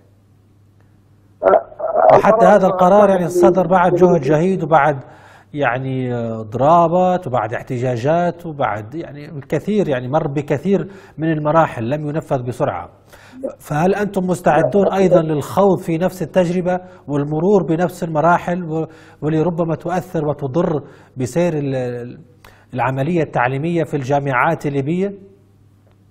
أخي نبيل لقد صدر في الأيام السابقة من المجلس الرئاسي قرار بزيادة مرتبات القوات المسلحة الجيش. وحاليا جاري تنفيذها بمرتبات شهر شهر 9 القادم. آه. نعم. ونحن مستعدين على أتم الاستعداد لما يترتب على هذا الاحتجاجات. طيب أنتم كيف تفهمون هذا التصرف؟ القرارات سواء من المجلس الرئاسي أو من مجلس النواب بتحسين مرتبات عدد أو شريحة معينة من موظفي القطاع العام والتأمين الصحي وغيره على عكسكم أنتم اللي عندكم قرارات صادرة بالخصوص قبل سنوات، كيف أنتم تستقبلون هذه هذه القرارات اللي تنفذ لصالح غيركم ولا وتتعطل عندكم أنتم من قبل الجهات الرسمية؟ للتذكير أخي نبيل قبل أسبوعين في جامعة طرابلس كلية تربيه عقدنا اجتماع مع لجنة التعليم بمجلس النواب. نعم. وكان وكان العدد خمسة أشخاص من مجلس النواب في لجنة التعليم حضروا هذا الاجتماع وطلبوا ما هي مطالبكم بحيث يقوموا بايصالها لمجلس النواب وعقد وعدونا بعقد اجتماع مع وزير التعليم بحكومة الوفاق ولكن لم يتم التواصل معنا إلى هذا اليوم. طيب. هذا تجاهل. لكن لماذا لم تجتمعوا أنتم؟ يعني يعني في العادة أنتم تجتمعوا بالوزير وزير التعليم وهو الذي يجتمع ب يعني لجنة مجلس النواب أو غيره أو أن يرفعه للسلطات اللي أعلى منه. لكن كيف يعني أنتم تلتقوا بالسلطة اللي أعلى من الوزير وهي التي تقول سوف توفر لكم اجتماعا مع مع مع مع مع وزير التعليم في حكومة الوفاق عثمان عبد الجليل؟ كيف يمكن فهم يعني هذه التراتبية الغريبة؟ أستاذ نبيل لجنة التعليم هي من طلبت الاجتماع بنا هذا أول شيء. طيب. وأتت برفع مطالبنا رفع مطالبنا إلى مجلس النواب. بناء على الحراك هذا الحراك الحاصل في مجلس النواب على زيادة مرتبات التعليم. هذا قبل صدور قرار زيادة مرتبات التعليم بيومين. نعم. طلبوا مننا الاجتماع حضرنا واجتمعنا بهم ورفعوا مطالبنا وسلمنا لهم جدول المرتبات وطلبوا منا مذكرة ووعدونا باجتماع مع وزير التعليم اللي هو الدكتور عثمان عبد ولكن طيب. لم يحصل ولم يرد علينا إلى هذه اللحظه. سيد ميلود الأسود نقيب موظفي جامعة الزاوية ضعنا في الأحداث والاحتجاج الذي عندكم أنتم أيضا في جامعة الزاوية سيد ميلود.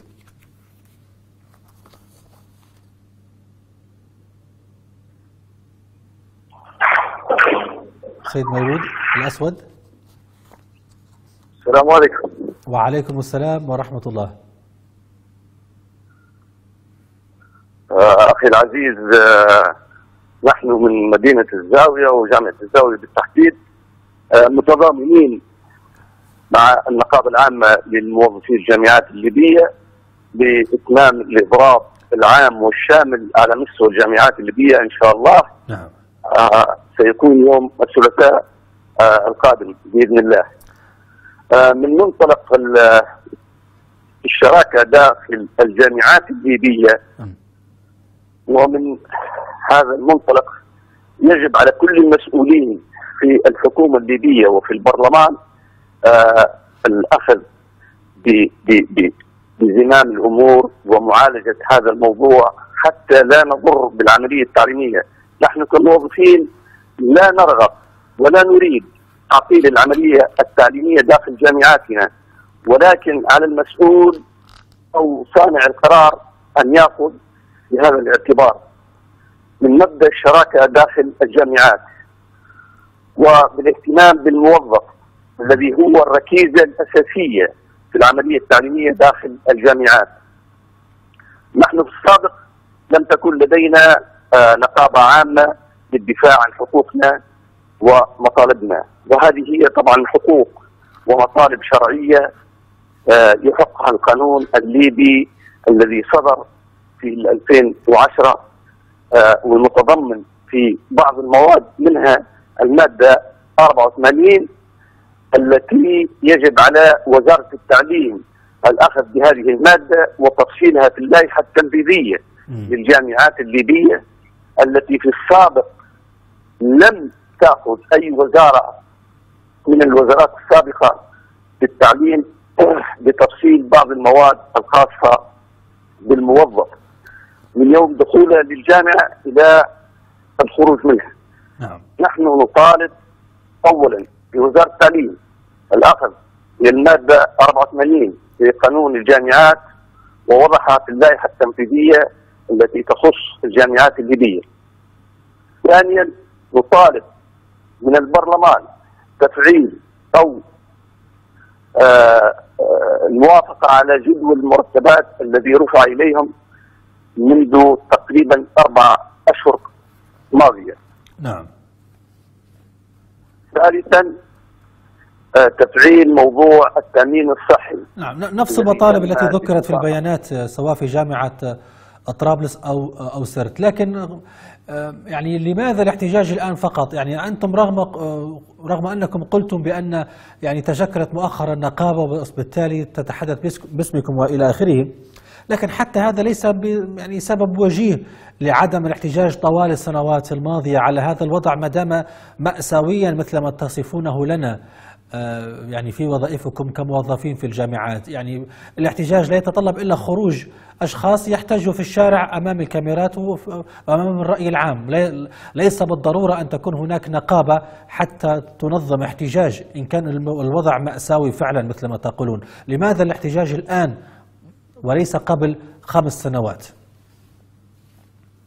أخي العزيز في السابق مثل ما قلت لك لم تكون هناك نقابة عامة للدفاع. نعم. ألو؟ نعم أسمعك. لم تكن هناك نقابة عامة. دعني آتي من جديد إلى رئيس هذه النقابة العامة رئيس نقابة موظفي الجامعات والمعاهد الليبية السيد عصام معويدات.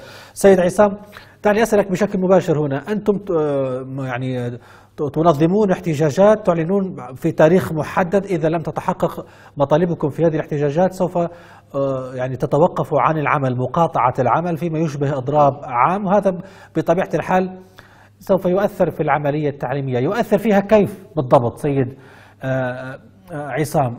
لأننا نح- نحن نعرف أن أهم عاملين في العملية التعليمية هو الطالب والمعلم. هذان العنصران ما دامان موجودان يعني مع يعني هناك عملية تعليمية. كيف يمكن فعلا أن يكون عدم حضوركم وعدم دوامكم في الجامعات سوف يؤثر ويمس بشكل ضاغط؟ والله والله يا سيد. نبيل سيد نبيل ال- الكلام اللي قلته حضرتك هو نفسه ما قيل لنا من لجنة التعليم في, في البرلمان. طيب. ها- حين ذهبنا إليهم في شهر 2 2017 بخصوص قانون رقم 2 اللي صدر مؤخرا بخصوص قانون الجامعات وتحدثنا مع السيد رئيس لجنة التعليم وتكلمنا بالخصوص. آه. المضفيد قال لي أنتم عاملين أنتم تتبعوا قانون رقم 12 في سنة 2010 مروا دوروا كيف تديروا روحكم القانون. هيك خليتوا اليوم نتكلموا بالليل. يا سيد نبيل معلش أنا ممكن تو اليوم نسرد لك اليوم شوية حقائق. ممكن تسمع كنا فينا إحنا شادين روحنا مش نتكلموا. في 2012 كانت بداية. في 2012 كانت هناك انتشار في بعض الجامعات. اذكرها لك جامعه طرابلس مثلا. بحكم إني أحد موظفين جامعة طرابلس في الأساس. آه وقمت بزيارة للسيد رئيس جامعة جامعة جامعة طرابلس السابق دكتور آه دكتور بجاز الخيل الذي قام مشكورا بمخاطبه وزارة التعليم آنذاك بخصوص زيادة مرتبات الموظفين والتأمين الصحي. ولكن إلى الآن لم هذا رقم واحد في 2015 شهر 1 11 2015 قامت جامعة طراب وجامعة مصراتة بالاحتجاج الثاني حكومة إنقاذ. في 2016 اجتمعنا نحن كجامعات في مدينة البيضاء. أربع مرات بخصوص الجامعات المسمع المسمع لا إله إلا الله. المسمع أشرف. الآن ولكن لم نجد هذا في البرلمان. البرلمان الليبي. في برلمان الأمة الليبي لم نجد أبنائنا لم نجد إخوتنا. لم نجد دكاترتنا الموجودين الذين هم زملاء. لنا داخل داخل قطاع التعليم داخل الجامعة لو تضعنا في صورة متوسط الرواتب متاعكم كموظفين في الجامعات سيد عصام حتى نفهم بالتالي مطالباتكم بزيادة هذه الرواتب مثلها مثل باقي الأجهزة الإدارية مثل ما كنتم تقولون في في البيان. يا سيد نبيل عفوا أول شيء لازم إحنا طلبنا زيادة مرتبات. إحنا تكلمنا في البداية يا ناس ديروا جدول مرتبات واحد. ما تجيش مثلا في ديوان المحاسبه الطالب اللي تخرج من كلية آه الاقتصاد في المحاسبة أو من كلية القانون يجي أول ما يتخرج ياخذ 5000 دينار. تجي لي موظف في جامعة طرابلس درجه 10 ياخذ 650 دينار. هل هذا معقول؟ طلبنا بتوحيد المرتبات بالكامل. طلبنا بتحديد ميزة لكل شخصية حسب طبيعة العمل بتاعها. ما طلبناش شيء ثاني طلبنا إن إحنا يتوحد الليبيين تكون الليبيين كلهم في نفس المستوى باختلاف حلاوه التمييز حسب طبيعة العمل. لكن لم نجد ننصغي سواء من المؤتمر الوطني العام سواء من البرلمان. نعم. لكن ماذا عن موقف إدارات الجامعات؟ يعني أنتم موظفون ضمن إدارة في الجامعة. ما موقف إدارة الجامعة سواء في طرابلس أو إن كان لديكم علم عن موقف إدارات الجامعات في باقي الجامعات الليبية؟ في هذا الاحتجاج. الاحتجاج ونية إضرابكم عن العمل سيد عصام. للحقيقة معظم معظم السادة آه، رؤساء الجامعات متضامنين مع موظفينهم لأنهم يعرفون ماذا يشتغل الموظف. بعكس الآخرين الذين لا يعلمون ما هي قيمة الموظف. في أحد الشخصيات في وزاره التعليم ما هو ما هي الأشياء التي يقدمها الموظف إذا كان الموظف طيب. عبارة عن عباء زايد على الدولة الليبية فبالاجدر حالتنا إلى التقاعد من الآن. طيب أنت كيف كيف جاوبتوه يعني هذا الموظف اللي من وزارة التعليم؟ هذا مش موظف هذا مدير إدارة بارك الله فيه. شخص وقور وعضو هيئه تدريس. وكان هذا رده. طيب. أه، أه، بما أننا نحكي على الوزارة ما موقف وزير التعليم عثمان عبد الجليل من من هذا الاحتجاج أولا؟ ومن ومن الإضراب؟ باعتبار بما أن نحن نفهم منكم أن الاحتجاج اليوم سبق يعني خطوات تصعيدية في السابق يعني اجتماعات وإلى آخره.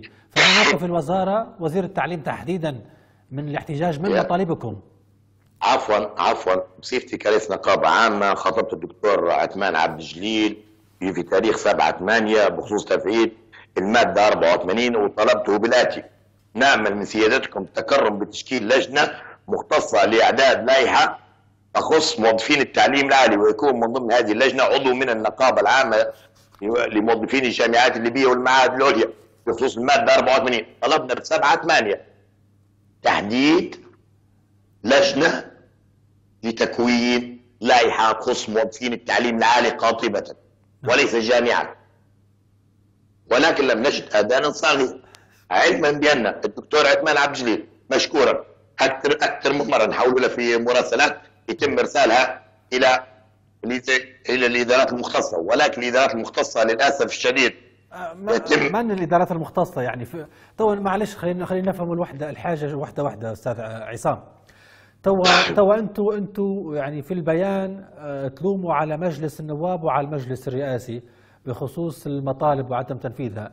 لكن مجلس النواب أعتقد إنه يفترض أن يكون خارج الدائرة. ونقول لك كيف. التشريعات موجودة القوانين موجودة. أنتم بأنفسكم قلتوا القوانين موجودة من 2013 لكن لم تنفذ. هذا يعني. هذا يعني يفترض الكلام والاحتجاج يوجه للمجلس الرئاسي اللي عليه ينفذ قرارات موجودة ليس كذلك ما علاقة مجلس النواب والتشريعات أصلا موجودة إلا في حال شكرا. إن أنتم تبوا تشريعات جديدة والتشريعات موجودة بالأساس ولا لا؟ عفوا أستاذ أستاذ نعم. نبيل تفضل أحد أحد وظائف آه، آه، مجلس النواب وهم مجلس الأمة الليبية قاطبة أنهم يكونوا مراقبين للحكومات سواء في حكومة المؤقتة أو الحكومة الوفاق. خاطب الاستاذ الطاهر الدريسي بصفته كنائب رئيس النقابة العامة.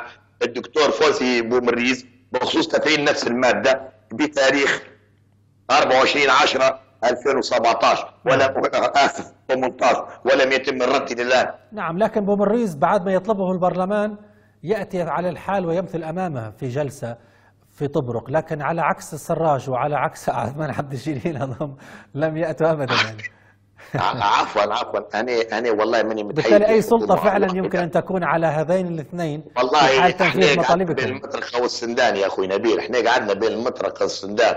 إحنا قعدنا نكلم حكومة الحكومة المؤقتة يقول لي والله إحنا مش عندنا إحنا الفلوس.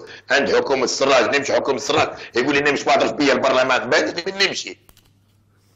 من نمشي موظفين عندي موظفين بسطاء جدا يا أستاذ نبيل يا أستاذ نبيل البساطة ممكن حضرتك أنت من طبرق وممكن تتواصل مع بعض الشخصيات في جامعة طبرق وتشوف البساطة بساطة الموظف البساطه الليبية المجردة من كل شيء يا أخوي نبيل. نعم.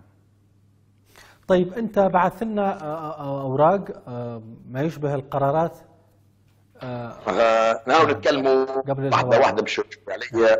حولنا طبعا في 5 11 2017 قدام قدام اجتماع نقابات الجامعات منفرده اللي قبل يكون اللي يتم تشكيلها حولنا مراسلة إلى السيد رئيس مجلس النواب وتم استلامها يوم 1 1 2018 متضمنة جد المرتبات خاصة للموظفين. وكانت اللجنة برئاسة السيد أبو بكر أبو بكر وحويصة رئيس رئيسا لها وكان من جامعة محمد العلي السنوسي مشكورا هذه الشخصية الوطنية الغيورة على حقوق الموظفين عندما كان هو رئيس نقابة موظفين جامعة محمد العلي السنوسي والأستاذ فتحي مسعود محمد آه، عضو كان عضو في اللجنة من جامعة غريان. والأستاذ صبر علي الشريف عضوا عن جامعة آه، طبرق. والأستاذ حميدة آه، عبد السلام عليوة عضو عن جامعة سبعة. نعم. بالإضافة إلى العبد لله عصام عودان كان عضو في اللجنة. وتم تسليمها لمجلس النواب 1 1 2018 ولم يتم الرد الآن. نعم. طيب بالإضافة إضافة عفوا أستاذ نعم تفضل. بالإضافة بالإضافة إلى القرار 641 اللي اللي اللي كان المفروض يتم تنفيذه اعتبارا من 1 1 2014 وهو المتمثل في زيادة المرتبات الموظفين 20% إلى الآن يا أستاذ. نحن نعاني وليس طويل نحن نعاني من أجسام تنفيذيه سنة 2010 إلى الآن. نعم. مشكله ليبيا ليست المشرعة. المشرع الليبي بالأمانة المشرع الليبي أعطاني حقوقي كاملة في قانون 18 ولكن للأسف شديد الحكومات المتعاقبة لم تعطينا أي حق إلى الآن. نعم. سيد طاهر درسي نقيب موظفي جامعة بنغازي ماذا عن إدارة الجامعة في في بنغازي؟ لو تضعنا في صورة آه، ارتدادات يعني وردود فعل آه، هذا الاحتجاج أيضا من موظفي جامعة بنغازي. ماذا عن الطلبة في الجامعة؟ ماذا عن آه، إدارة الجامعة؟ أين هي من من احتجاجكم ومن موقفكم هذا يعني؟ بالنسبة لإدارة الجامعة الأمر لا يعنيها لأن الاحتجاج ليس هو اداره الجامعة. لا لا لكن يعطل العملية التعليمية اللي تديرها اداره الجامعة. نعم وأنتم نعم موظفون نعم. عند عند الإدارة. بالنسبة لاتحاد الطلبة سبق إني خطبت برسالة رسمية بأن هذا الأمر لا لا يخص الطلبة. هو موظف متوقف عن العمل. بالنسبة لتوقفنا عن العمل هو الإعلان الدستوري لسنة 2011 ضمن حق الاحتجاج والاعتصام. بعد السلم بعد استنفذنا جميع الطرق. نعم. نحن خطبنا جميع الجهات. أنا خطب أنا نتكلم عن نفسنا نقيب جامعة بنغازي خطبت السيد وزير التعليم خطب السيد رئيس الوزراء آه، خطبنا عن طريق النقابه العامة البرلمان الليبي آه، خطبنا حتى داخل الجامعة الكاتب العام فيما يخص ال 20% قرض 141 وفيما يخص على السكن حتى على السكن لا تخصص بينما هناك جهات تم صرف لها على السكن فنحن إدارة الجامعة تفهم جيدا إن الموظف المضمون والطالب يفهم جيدا ان الموظف الموظف لو لو أخذ حقوقه ليش بيتوقف العمل؟ شنو الأسباب اللي خلاه يتوقف العمل؟ لو خذينا حقوقنا لو أخذنا جزء من حقوقنا ليش توقفوا العمل؟ لكن توقفكم عن العمل أستاذ الطاهر هل هل فعلا هل هل تعولون فعلا ان إذا ما توقفتم عن العمل أن هذا سوف يحدث آه، تبعات أو ردود فعل تضغط على على المجلس الرئاسي أو على مجلس النواب لتنفيذ القرارات الموجودة، يعني قد يقول لك قائل وهي نقطة في الحقيقة اثرتها قبل لحظات، مسألة أن يعني ربما سوف لن يتأثر الموضوع التعليم في الجامعات باعتبار أن الطالب سوف يكون موجود في القاعة والمعلم أو المحاضر أيضا موجود، سوف تغيبوا أنتم وتكون الباقي الباقي معادلة العملية التعليمية الجامعية موجودة، الإدارة موجودة، المعلم موجود والطالب موجود، فإلى أي درجة فعلا آه، غيابكم وانقطاعكم عن العمل سوف يؤثر بشكل إيجابي لصالحكم؟ هو هو للأسف نحن كنا ما نبدوش نوصل للمرحلة هذه ولكن للأسف صناع القرار في الدولة لم يلتفتوا إلينا، نحن نعلم جيدا أن غيابنا في الجامعة يؤثر على الطالب وعلى التدريس.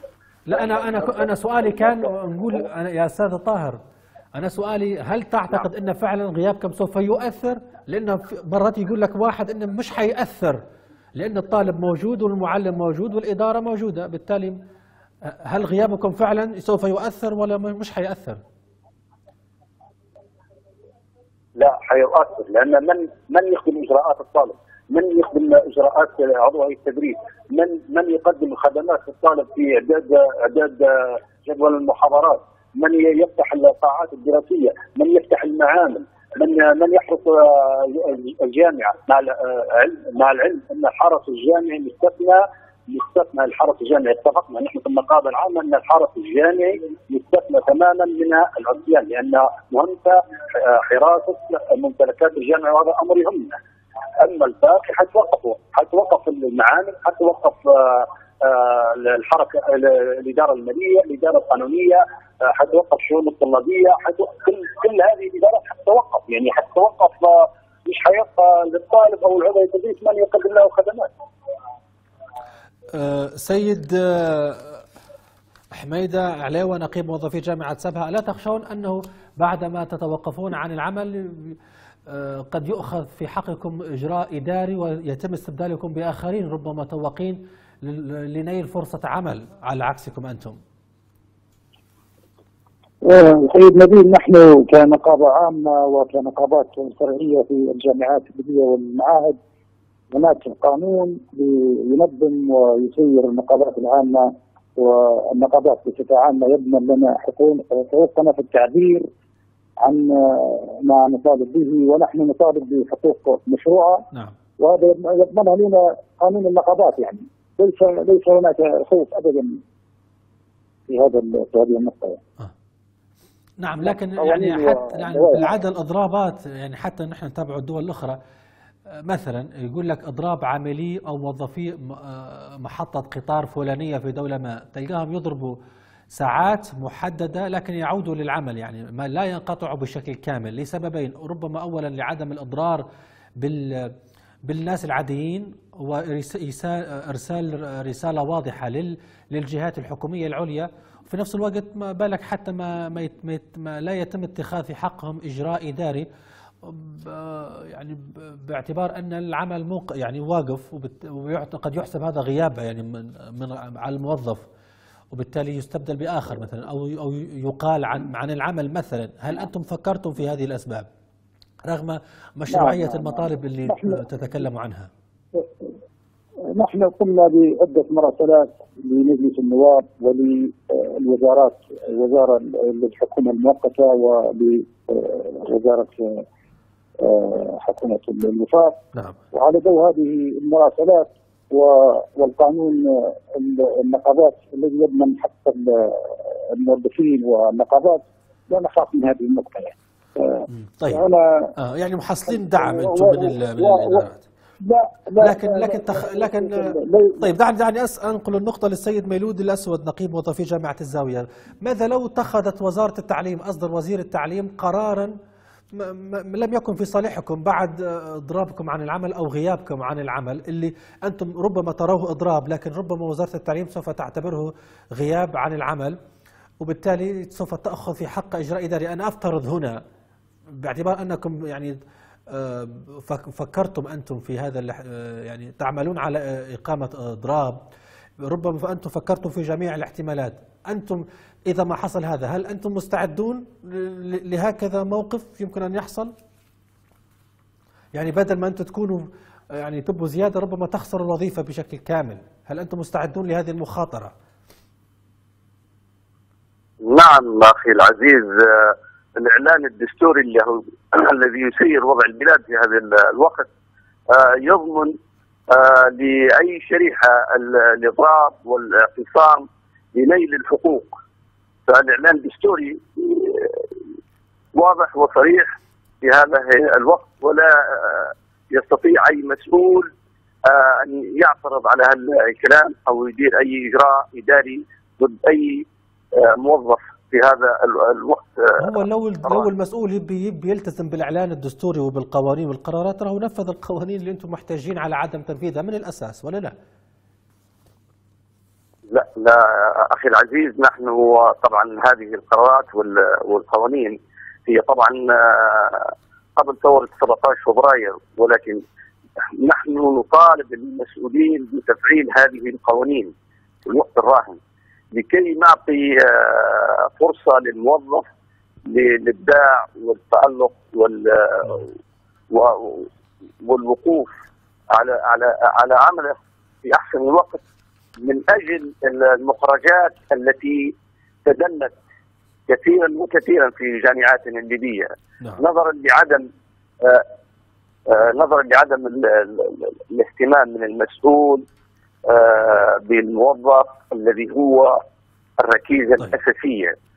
وسنثبت وسنثبت للجميع بأن الموظف مهم ومهم جدا داخل الجامعات الليبية وداخل كل المؤسسات الليبية. نعم نحن في الحقيقة يفترض يكون معنا السيد نبيل النطاح رئيس جامعة طرابلس والسيد موسى العلواني الناطق الرسمي باسم الاتحاد العام لطلبة ليبيا حتى نسمع منهم رأيهم كطلبة في الموضوع. وأيضا يفترض أن يكون معنا رئيس لجنة التعليم في مجلس النواب السيد سعد المرمي. لا أعرف آه طيب معناها نشكر السيد ميلود الأسود حتى نوفر الاتصالات أيضا لل- للباقي الضيوف. شكرا سيد ميلود الأسود والشكر أيضا للسيد آه، حم- حميد عليوة والسيد طاهر الدرسي نقيب موظفي جامعة آه، بنغازي. ونعود إلى السيد عصام آه، أعويداد آه، سيد عصام آه، يعني آه، ما الرسائل الموجهة اليوم للجنة التعليم دعنا نقول في في مجلس النواب. يعني أنتم سبق وأن اجتمعتم بلجنة التعليم مثل ما أخبرتمونا ولكن يبدو أن الأمور آه، لم يعني تذهب آه، في الاتجاه اللي أنتم تبوه. بدليل أنكم اليوم صعدتم من الموقف ودرتوا وقفة احتجاجية وممكن حتى تصلوا إلى مرحلة الإضراب. يعني بالتالي الرسائل اللي اللي أنتم قلتوها بشكل مباشر للجنة التعليم هل ما تزال آه، في صدد الإرسال. بمعنى آخر هل هل ما زلتم تعولون على أن لجنة التعليم سوف تفعل شيء؟ أنتم اللي قابلتوها في اجتماع مباشر وما ما لم يحصل شيء لغاية الآن. هل ما زلتم تأملون خيرا من من من اللجنة أن تحقق المطالب اللي اللي أنتم تبوها؟ في الله موجود وفي شرفاء ليبيا موجود. أنا متأمل إن شاء الله من نواب من نواب الأمة الليبية أن يكونوا في المستوى. ضروري أن هم يكونوا في مستوى الأحداث. الراهنة في هذا الوطن. والسيد رئيس مجلس النواب الدكتور سعد المريمي زميلي في نفس القسم في كلية العلوم في قسم الحاسب الآلي زميلي واحد الدكاترة الموجودين داخل القسم وله باع طويل. ولكن للأسف وللأسف الشديد ما نعرفش دور دور مجلس الأمة اللي كان المفترض مراقبة جميع الحكومات سواء الحكومة المؤقتة سواء الحكومة حكومة الوفاق إلى آخره من المسميات وبالإضافة إلى الانقسام السياسي والتشعب والتشظي الذي حاصل في الوطن يعاني منه المواطن البسيط وليس المواطن الثري أو المواطن المترفه نعم. معنا الآن السيد صلاح السويح نقيب موظفي جامعة مصراتة وأرجو من الشباب أن يتصلوا برئيس لجنة التعليم في مجلس النواب الدكتور سعد المرمي حتى نسمع بشكل واضح ومباشر تعليقه على الموضوع. سيد صلاح السويح لو تضعنا في موضوع الاحتجاجات هذه المرة من ناحية جامعة مصراتة وموظفي جامعة مصراتة أولا تحية لك أستاذ مدير وتحية للإخوة المصاحبين لك هذا في هذه الليلة.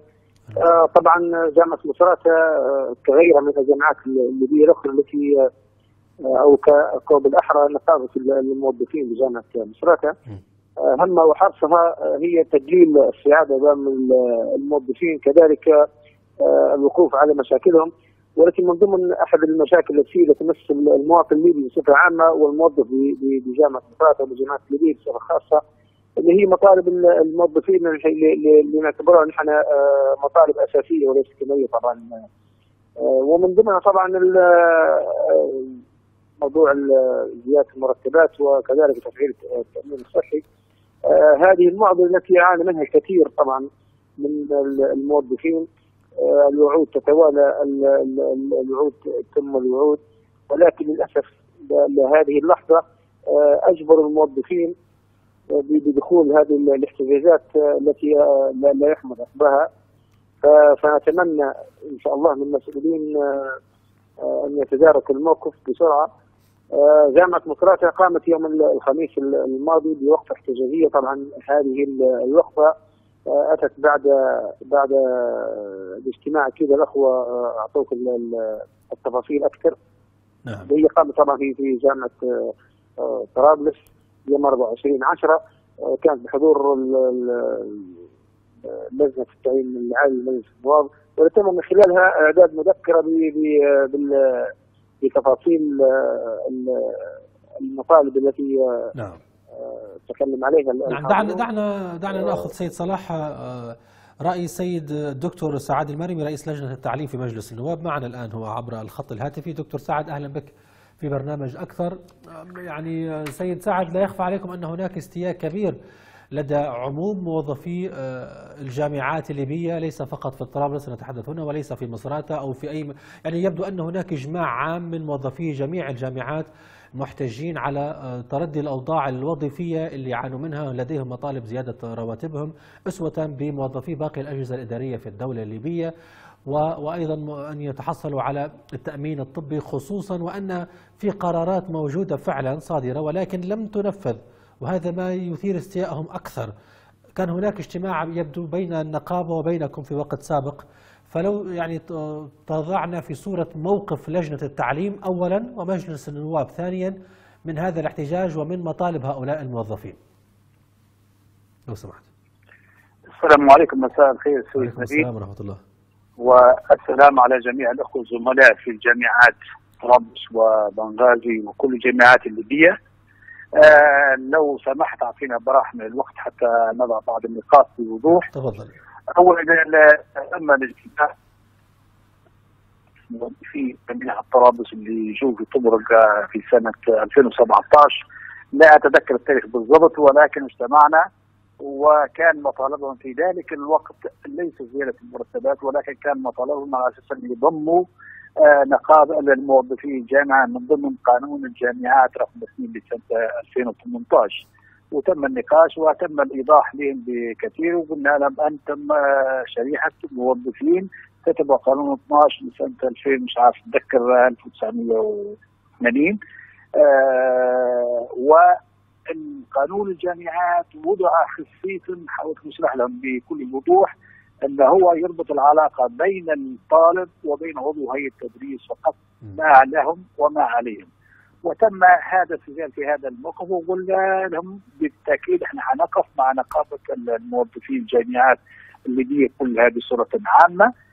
أما بخصوص زيادة المرتبات والتأمين الصحي أنا أرى أنه هو مطلب شرعي للجميع وهذا من حقهم لأن هناك الاختلافات اللي موجودة في المرتبات وهذا خلل كبير جدا إلى حد الآن نعاني منه تلقى موظف في شركة ما يتقاضى بالآلاف بينما موظف يقوم بشغل كذا يتقاضى أقل بكثير بكثير وهو غير شرعي وغير توافقي بين الكل.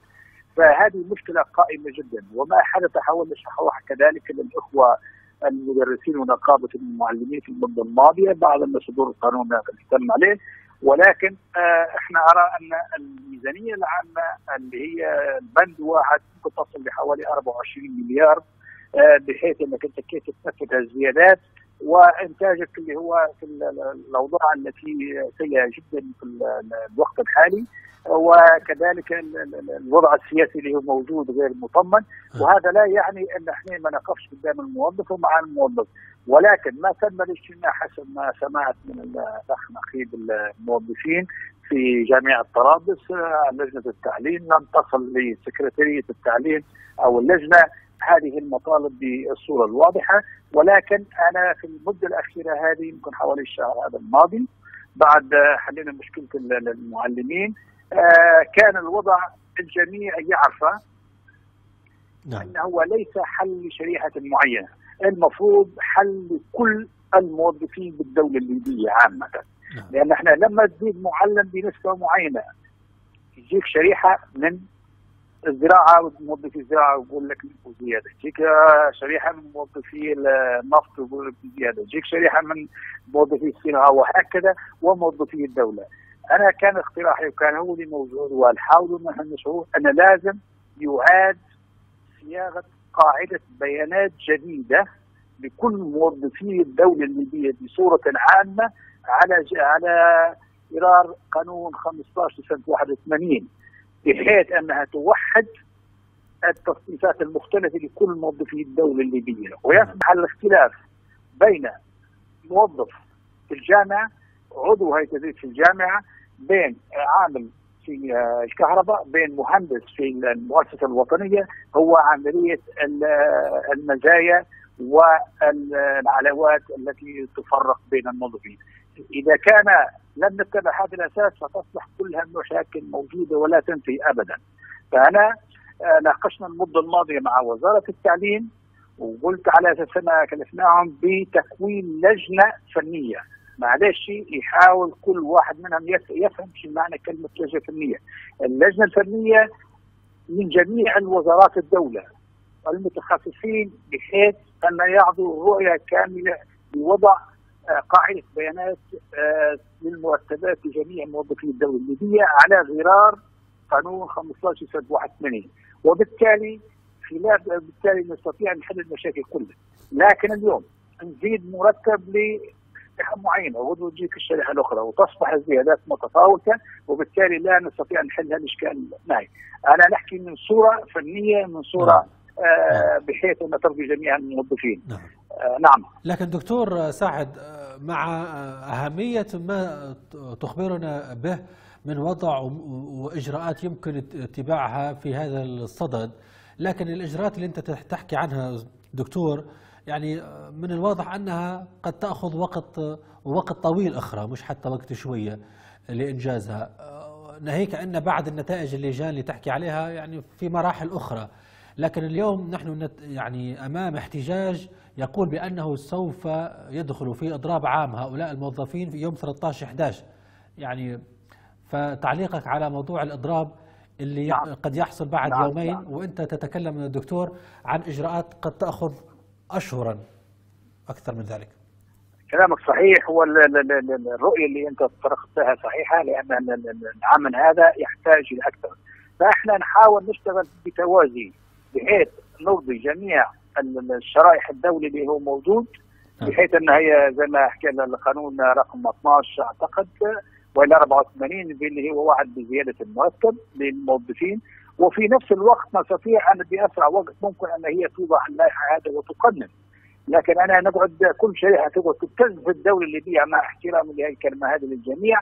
يا اما زدني يا اما نوقف هذا أعتقد يجب أن يراعي حتى الدولة الليبية حاليا، الدولة الليبية حاليا تمر بمراحل صعبة وصعبة جدا والجميع يعرفها، وبالتالي يجب أن نتحمل في أنفسنا القليل ولكن مبدأ موجود أن الموظف والمدرس وعضو التدريس والجندي وكل الشرائح هي من حقها ومطالبها شرعيه أن يضيفوا لها مرتب وبالأخص التأمين الصحي لجميع الشرائح الليبية. انما تو حاليا كيف بتزيد الموظف بناء على ما هو اقترحه.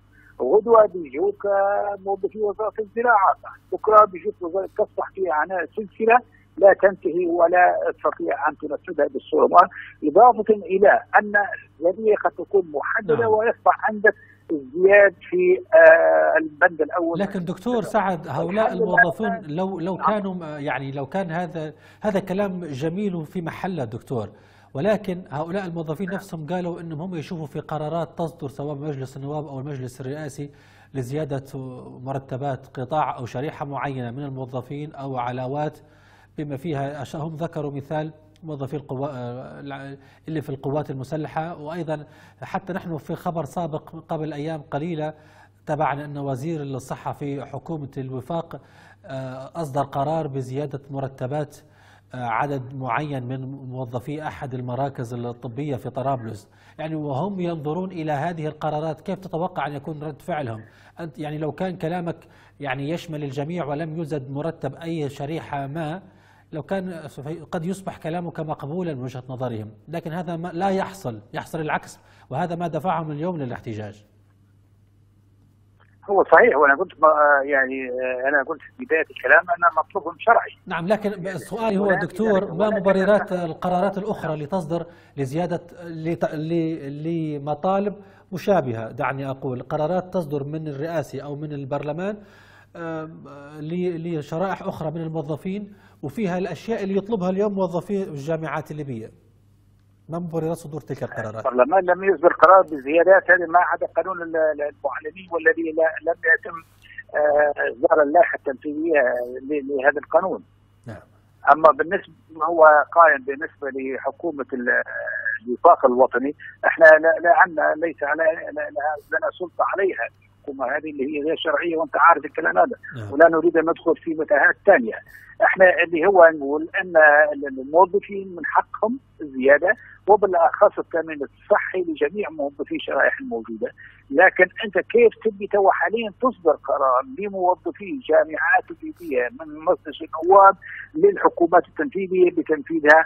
وأنت عارف زي ما يقولوا البيروقراطية شن عندك من ميزانيات عندك الكلام هذا لا يعني أن إحنا نقصد ضدهم ولكن إحنا ما نطالب فيه تو حاليا ونحاول نصدر فيه إن هو التريث بحيث أن على الأقل تنهي اللجنه الفنية اللي هي تو تم تشكيلها آه تضع تصور كامل. وفي نفس الوقت آه نحاول ندفع كل قوة لاصدار القانون هذا بزيادة المرتبات لكل شرائح الشعب الليبي الموجودين يعني. دعنا دكتور نستطلع رأي الضيوف من من من نقابات الموظفين في الجامعات والمعاهد الليبية. سيد عصام عيدات ما رأيك في هذا الكلام من الدكتور سعد؟ دكتوري وزميلي الدكتور سعد المريمي على رحابة صدره. ثانيا آه أنا واحد من الناس أول ما طلبنا قلنا إحنا ضروري من إنه يكون هناك جدول مرتبات موحد لجميع الدولة الليبية الاختلاف في علاوات التمييز فقط. تقريبا هذا أول كلامي اللي طرحناه يا أستاذ نبيل. ممكن دكتور سعد ممكن ما كانش معنا في الحلقة لكن نكرر كلامي لحضرة دكتوري. تفضل. آه ثانيا آه يا يا دكتور سعد آه تقريبا في ديوان المحاسبة في 2015 قام بإعداد جدول مرتبات موحد للدولة الليبية وتم إحالته البرلمان ولم يرى النور إلى الآن. فما تعليق على هذا يا دكتور سعد بصفتك عضو في مجلس الأمة الليبية؟ دكتور سعد؟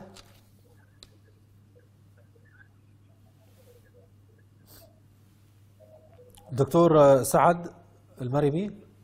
نعم استمعت لاستفسار السيد عصام نعم سمعت السيد عصام وسمعت كلامه صحيح وهو كلام أنا أعتقد إحنا في نفس الخط أن آه، حل المشكلة واضح لل- للجميع ولكن آه، عملية تنفيذها اللي هي تاخذ الزمن زي ما ذكرت السيد نعم. نبيل في هذا الموضوع. آه، النقطة الثانية بالنسبة لجدول المرتبات اللي هو صدر في 2015 حسب ما قال الأستاذ أنا لم أرفع عليه عليه ولم يصلنا هذا الجدول بالنسبة للمرتبات العامة على غرار قانون 15 لكن إحنا ندفع بهالاتجاه هذا لأنه هو الاتجاه الوحيد اللي نستطيع نحل فيه الاشكال لكن وجود لكن هذا آه، الجدول الشعبي المرتبات. لا يمكن يحل المشكلة هذا يعني. لكن في نعم. ظل وجود آه، يعني هذا الجدول أو هذا القرار لتوحيد المرتبات واللي أشرت إليه يعني إذا ما فائدة تشكيل آه، لجان اللي أنت أشرت إليها الدكتور سعد وال- والعودة والبدء من الصفر في ظل إنه اوريدي موجود يعني في قرار وفي جدول معين يوحد مرتبات جميع الموظفين في الدولة الليبية. لماذا لا تذهبوا لل... لا، هي أنا- تستفيدوا من هذا القرار أو من هذا يعني الجدول؟ لو سمحت أنا أستاذ نبيل لو سمحت إن هي الجداول والواحد موجودة هي مسبق كل الدرجات من درجة نقولوا واحد إلى درجة 16 أو كذا كذا المرتبات نتاعها وجداولها كلها موجودة بعلاواتها. إحنا ما نريد هو إعادة النظر في هالجدول هذا بحيث يتمشى مع المستوى المعيشي الحالي. يعني زي ما قلت سابقا موظف في شركة نفطية يتقاضى 7 8000 جنيه بينما موظف في جامعة طرابلس ولا جامعة بنغازي ولا أي احدى الجامعات في ال 400 و500 دينار أو 600 دينار. وهذا بصراحة طيب. ما فيش عدل يعني بالصورة الثانية زد على ذلك ان أن إحنا حتى بعض ال- ال- ال- الإدارات في وزارة التعليم تطلب انتقال إلى ال- بعض الهيئات اللي هي فيها زيادة مرتب وهذا حتى هو سبب اشكال كبير.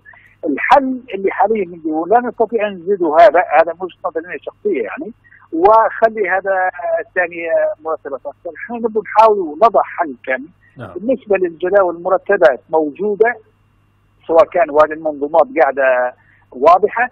الحل الوحيد اللجنة الفنية اللي هي حتضع هذا بأسرع وقت ممكن تعيد النظر كيفية زيادة المرتبات هذه اللي موجودة في الجدول.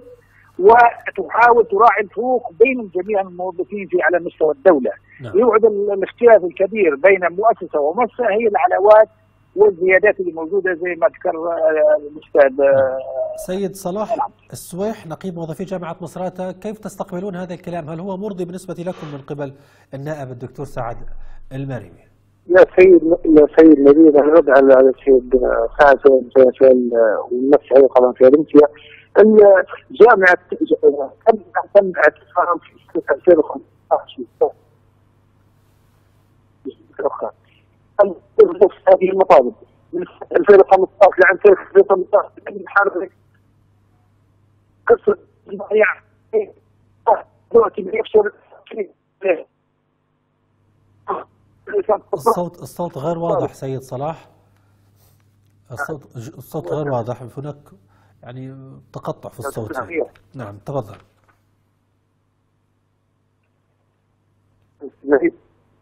لا في مشكلة في في شبكة الاتصال.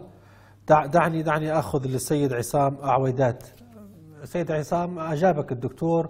وكان ما وما زال يدعو إلى التريث وأن يعني آه، مع آه، اعترافهم بأن يعني هذه حقوق ومطالب مشروعة ولكن يعني يرجو السيد سعد المرمي أن تتريثوا قليلا وإن العمل جار وما فيش حد ناكر تنفيذ المطالب اللي أنتم تطالبوا بها وحتى هذه المطالب يعني يعني الوضع العام أشار إلى الوضع العام وإن يعني زيادة المرتبات معناها زيادة في الميزانية وإلى آخره. فكيف يعني تعلقون على على هذه المسألة؟ وكيف تستقبلون هذه الدعوة منه بالتريث؟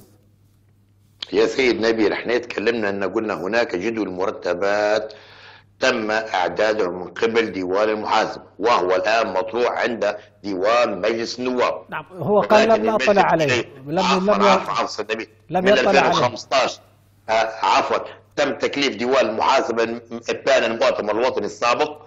آه وتم اعداد هذا الجدول وإلى الآن عند مجلس النواب ولم ولم يقر. يا سيد نبيل يا سيد نبيل إحنا اللي خمسنا إن بدت ليبيا حارت كل من اللي في إيده. اللي عنده قوة ياخذ كل حاجة. اللي عنده قوة سكر عليه النفط اللي عنده قوة موقف عليه فلوس اللي عنده قوة آه، دره لي كبدي. اللي عنده قوة خلصني جيت بيهم يموت الموظفين الشعب الليبي مات. نواب الامه ما يتساووا ما بيملكوش. على الشعب الليبي شو صاير فيه؟ الناس يوقفوا في المرتبات. على خاطر مرتب كل كل خمسة شهور. عبارة عن 500 جنيه.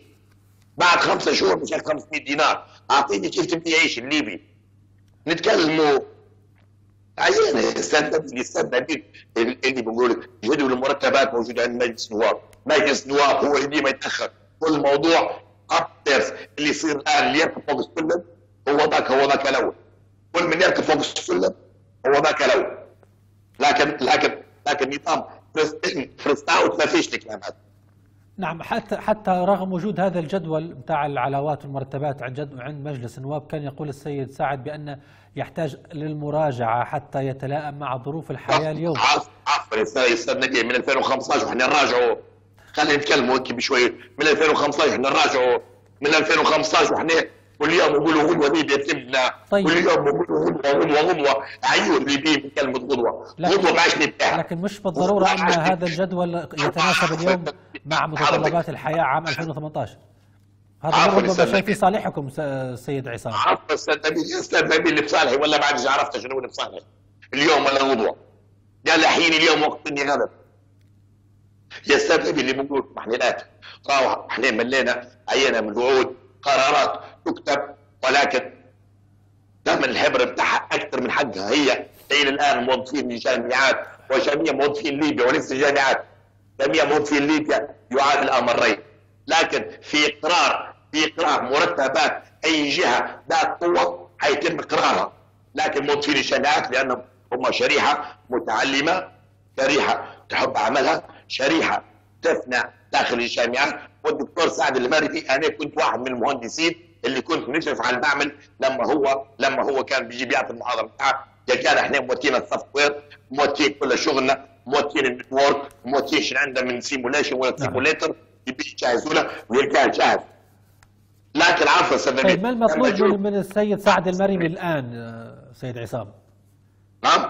ما المطلوب من الدكتور سعد المريمي أول حاجة دكتور سعد إحنا إعادة نظر في قانون رقم اثنين هذا ولو والتريث في طرحه إلى الآن لأن هذا القانون حيكون قانون جدلي داخل الجامعات حيسبب مشكلة بالنسبة لقانون رقم 2 2018 تمام؟ في بعض المواد وذكرنا هذا قبل يتم اعتماد القانون في شهر 8 وإلى الآن لم يتم الالتفات إليها.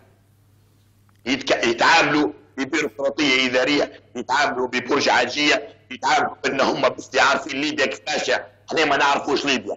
كل من يحمل كلمة تال هو الذي يشير هو الذي يخطط هو الذي ينفذ. ولكن الموظف البسيط أو المواطن الكادح لا يعرف في شيء ولا يفقه في شيء في ليبيا و- و- وهم وهم الوطنيون ونحن غير وطنيون. لأن علاش؟ إحنا كل ما نتكلم إحنا الحقنا تطلع أنت غير وطني. تطلع أنت اذا حيصنفوك لاي تصنيف يبقوا هم. نعم.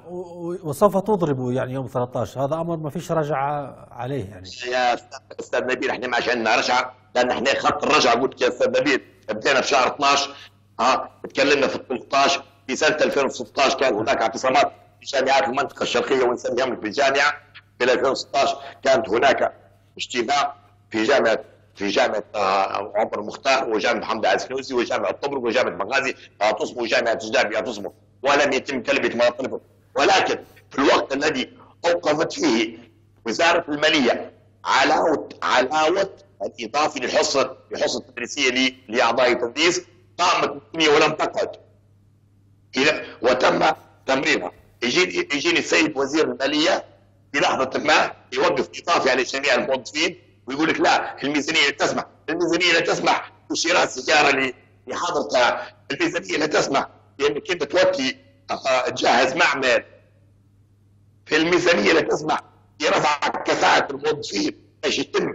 المعامله معهم زي معاملة قضايا التدريس. يا سيد نبيل يا سيد نبيل اللي بقول لك حاليا الجامعات تغلي جميع الجامعات أنا عندي دراية أنا مر على جميع الجامعات. ممكن الدكتور سعد جيتا في شهر 2 2017 بخصوص بخصوص تعديل بعض المواد في قانون رقم 2 لسنه 2016 قبل يتم صدوره ولكن من خلف إيدينا. بالعكس عملنا معامله قال هذا القانون يخص الطالب ويخص عضو هيئه التدريس. اذا ليس وجود للموظف في حاله عدم وجود الموظف إذا فليذهب الموظف ولينا أو طيب أو يذهب. طيب واضح. دكتور دكتور سعد دكتور سعد. 60000 يعني هذا موظف على مستوى الوطن على مستوى الأمة الليبية. بالك إحنا إحنا عبء على على على كاهل الميزانية الليبية. دكتور سعد. نعم. الصوت ما كانش واضح هي. بالنسبة للأستاذ عصام يعني. نعم. يعني يعني. كان أنا الحاجات اللي السيد عصام أنا مش مش حاول ننقل أو نعم. أعيد الكلام اللي قاله ولكن كان في أبرز ما قال بأن يعني آه، مسألة الوقت. هذه يعني آه، شيء آه، قالوا بانهم لن يتراجعوا عن الأضراب سوف يضربوا. مسألة البيروقراطية الإدارية وال يعني وأن متاع لا قال لك يعني احييني اليوم واقتلني بكرة وإلى آخره. يعني بمعناه أن هذه الاجراءات لا- هم يطالبوا بسرعة تنفيذها فورا سيد آه، عصام. وخصوصا إن يعني أنتم وهم حتى كانوا يحكوا على مسألة إن أنتم الاجتماع اللي صار بينكم وبينهم وكان في حديث عن آه، آه، لقاء وزير التعليم في حكومة الوفاق اللي اللي على الأقل تنفيذ القرارات الموجودة. بعدين نحن نحكوا على على إصدار قرارات وعلاوات وزيادات أخرى ممكن تتناسب مع الوقت الراهن ولكن على الأقل تنفيذ اللي اللي موجود. فيعني ماذا تقول عنهم؟ يعني هم أصروا أنهم لن يتراجعوا عن عن الأضراب ولن يتريثوا بعد الدعوات اللي أنت ذكرتها. أنا مع احترام السيد عصام كذا لا داعي للسجال اللي هي موجود يتارك ال- زي شوية فلكن إحنا كلجنة تعليم في مجلس النواب ومجلس النواب اختصاصه هو التشريع في القوانين اللي هي آه، تجي عندها ونقدموها على اللجنة إضافة إلى الوظيفة الثانية لمجلس النواب هو مراقبه الجهة التنفيذية.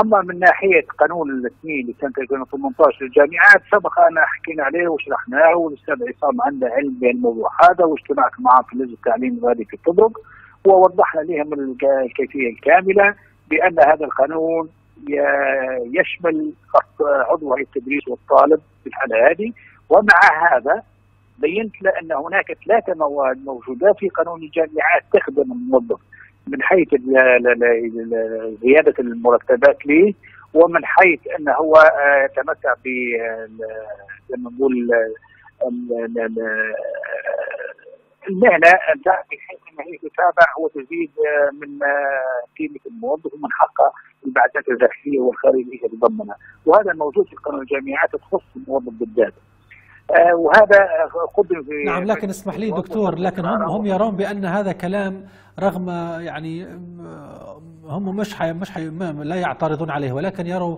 يروه بأن كلام نفسه طويل وهم مش مستعدين آه، للانتظار أكثر من ذلك خصوصا وأن يعني قرارات موجودة في السابق وغيرها من الأمور. آه، وهم خلاص يعني خرجوا للعلن واتفقوا مع بعضهم البعض داروا وقفات احتجاجية وفي إضراب آه، محدد التاريخ بشكل آه، واضح عند الجميع.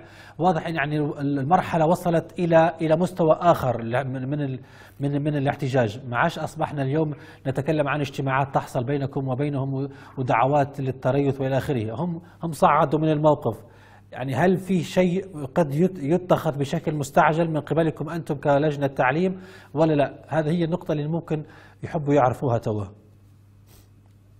هو إحنا يا أستاذ نبيل زي ما حكينا سابقا من حقهم كموظفي الجامعات بزيادة مرتباتهم والتأمين الصحي. إحنا لا لا لا اعتراض على ذلك.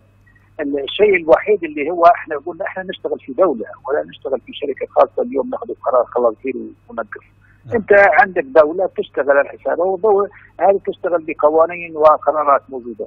اللي موجود عندنا في مجلس النواب إلى حد الآن هذا مش موجود إن إحنا كيف نزيد الموظف مرتب الموظف وين هذا؟ بالنسبة كلجنة تعليم في سكرتيرية التعليم مش موجود إلى حد الآن. لكن هذا لا يعني لا يعني أن إحنا ضد ال- مطالبهم. إحنا اللي بنقول في الجلسات الجاية إن شاء الله وأنت عارف يعني مجلس النواب حتى كل شهر ما عادش يجتمع إلا مرة واحدة وأنت هذه. الكلام هذا ماشي مش غايب على اللي بيه هذه المشكلة اللي كانوا يحكوا فيها حتى هم معنا. الموظفين. نعم. اي نعم اي نعم. مع هذا إحنا عندنا قانون بتاع النقابات والروابط المهنية معروض توليحته وشهرين ما زالش ما تم إقراره. وان شاء الله حنتموه في الأسابيع الجاية. أضف إلى ذلك المشاكل السياسية اللي حدثت اللي خلت إحنا مجلس النواب منقسم والجميع عارف هذا ومن صعوبة الاجتماع ومن صعوبة اتخاذ القرارات. طالما قدم مطلبهم بزياده المرتبات والتامين الصحي إحنا هذا بندافع عليه معاهم ما نقولوش لا وأنا اقر في حال الكلام هذا حنقدمه في جدول الأعمال ونشوفه كيف يتم.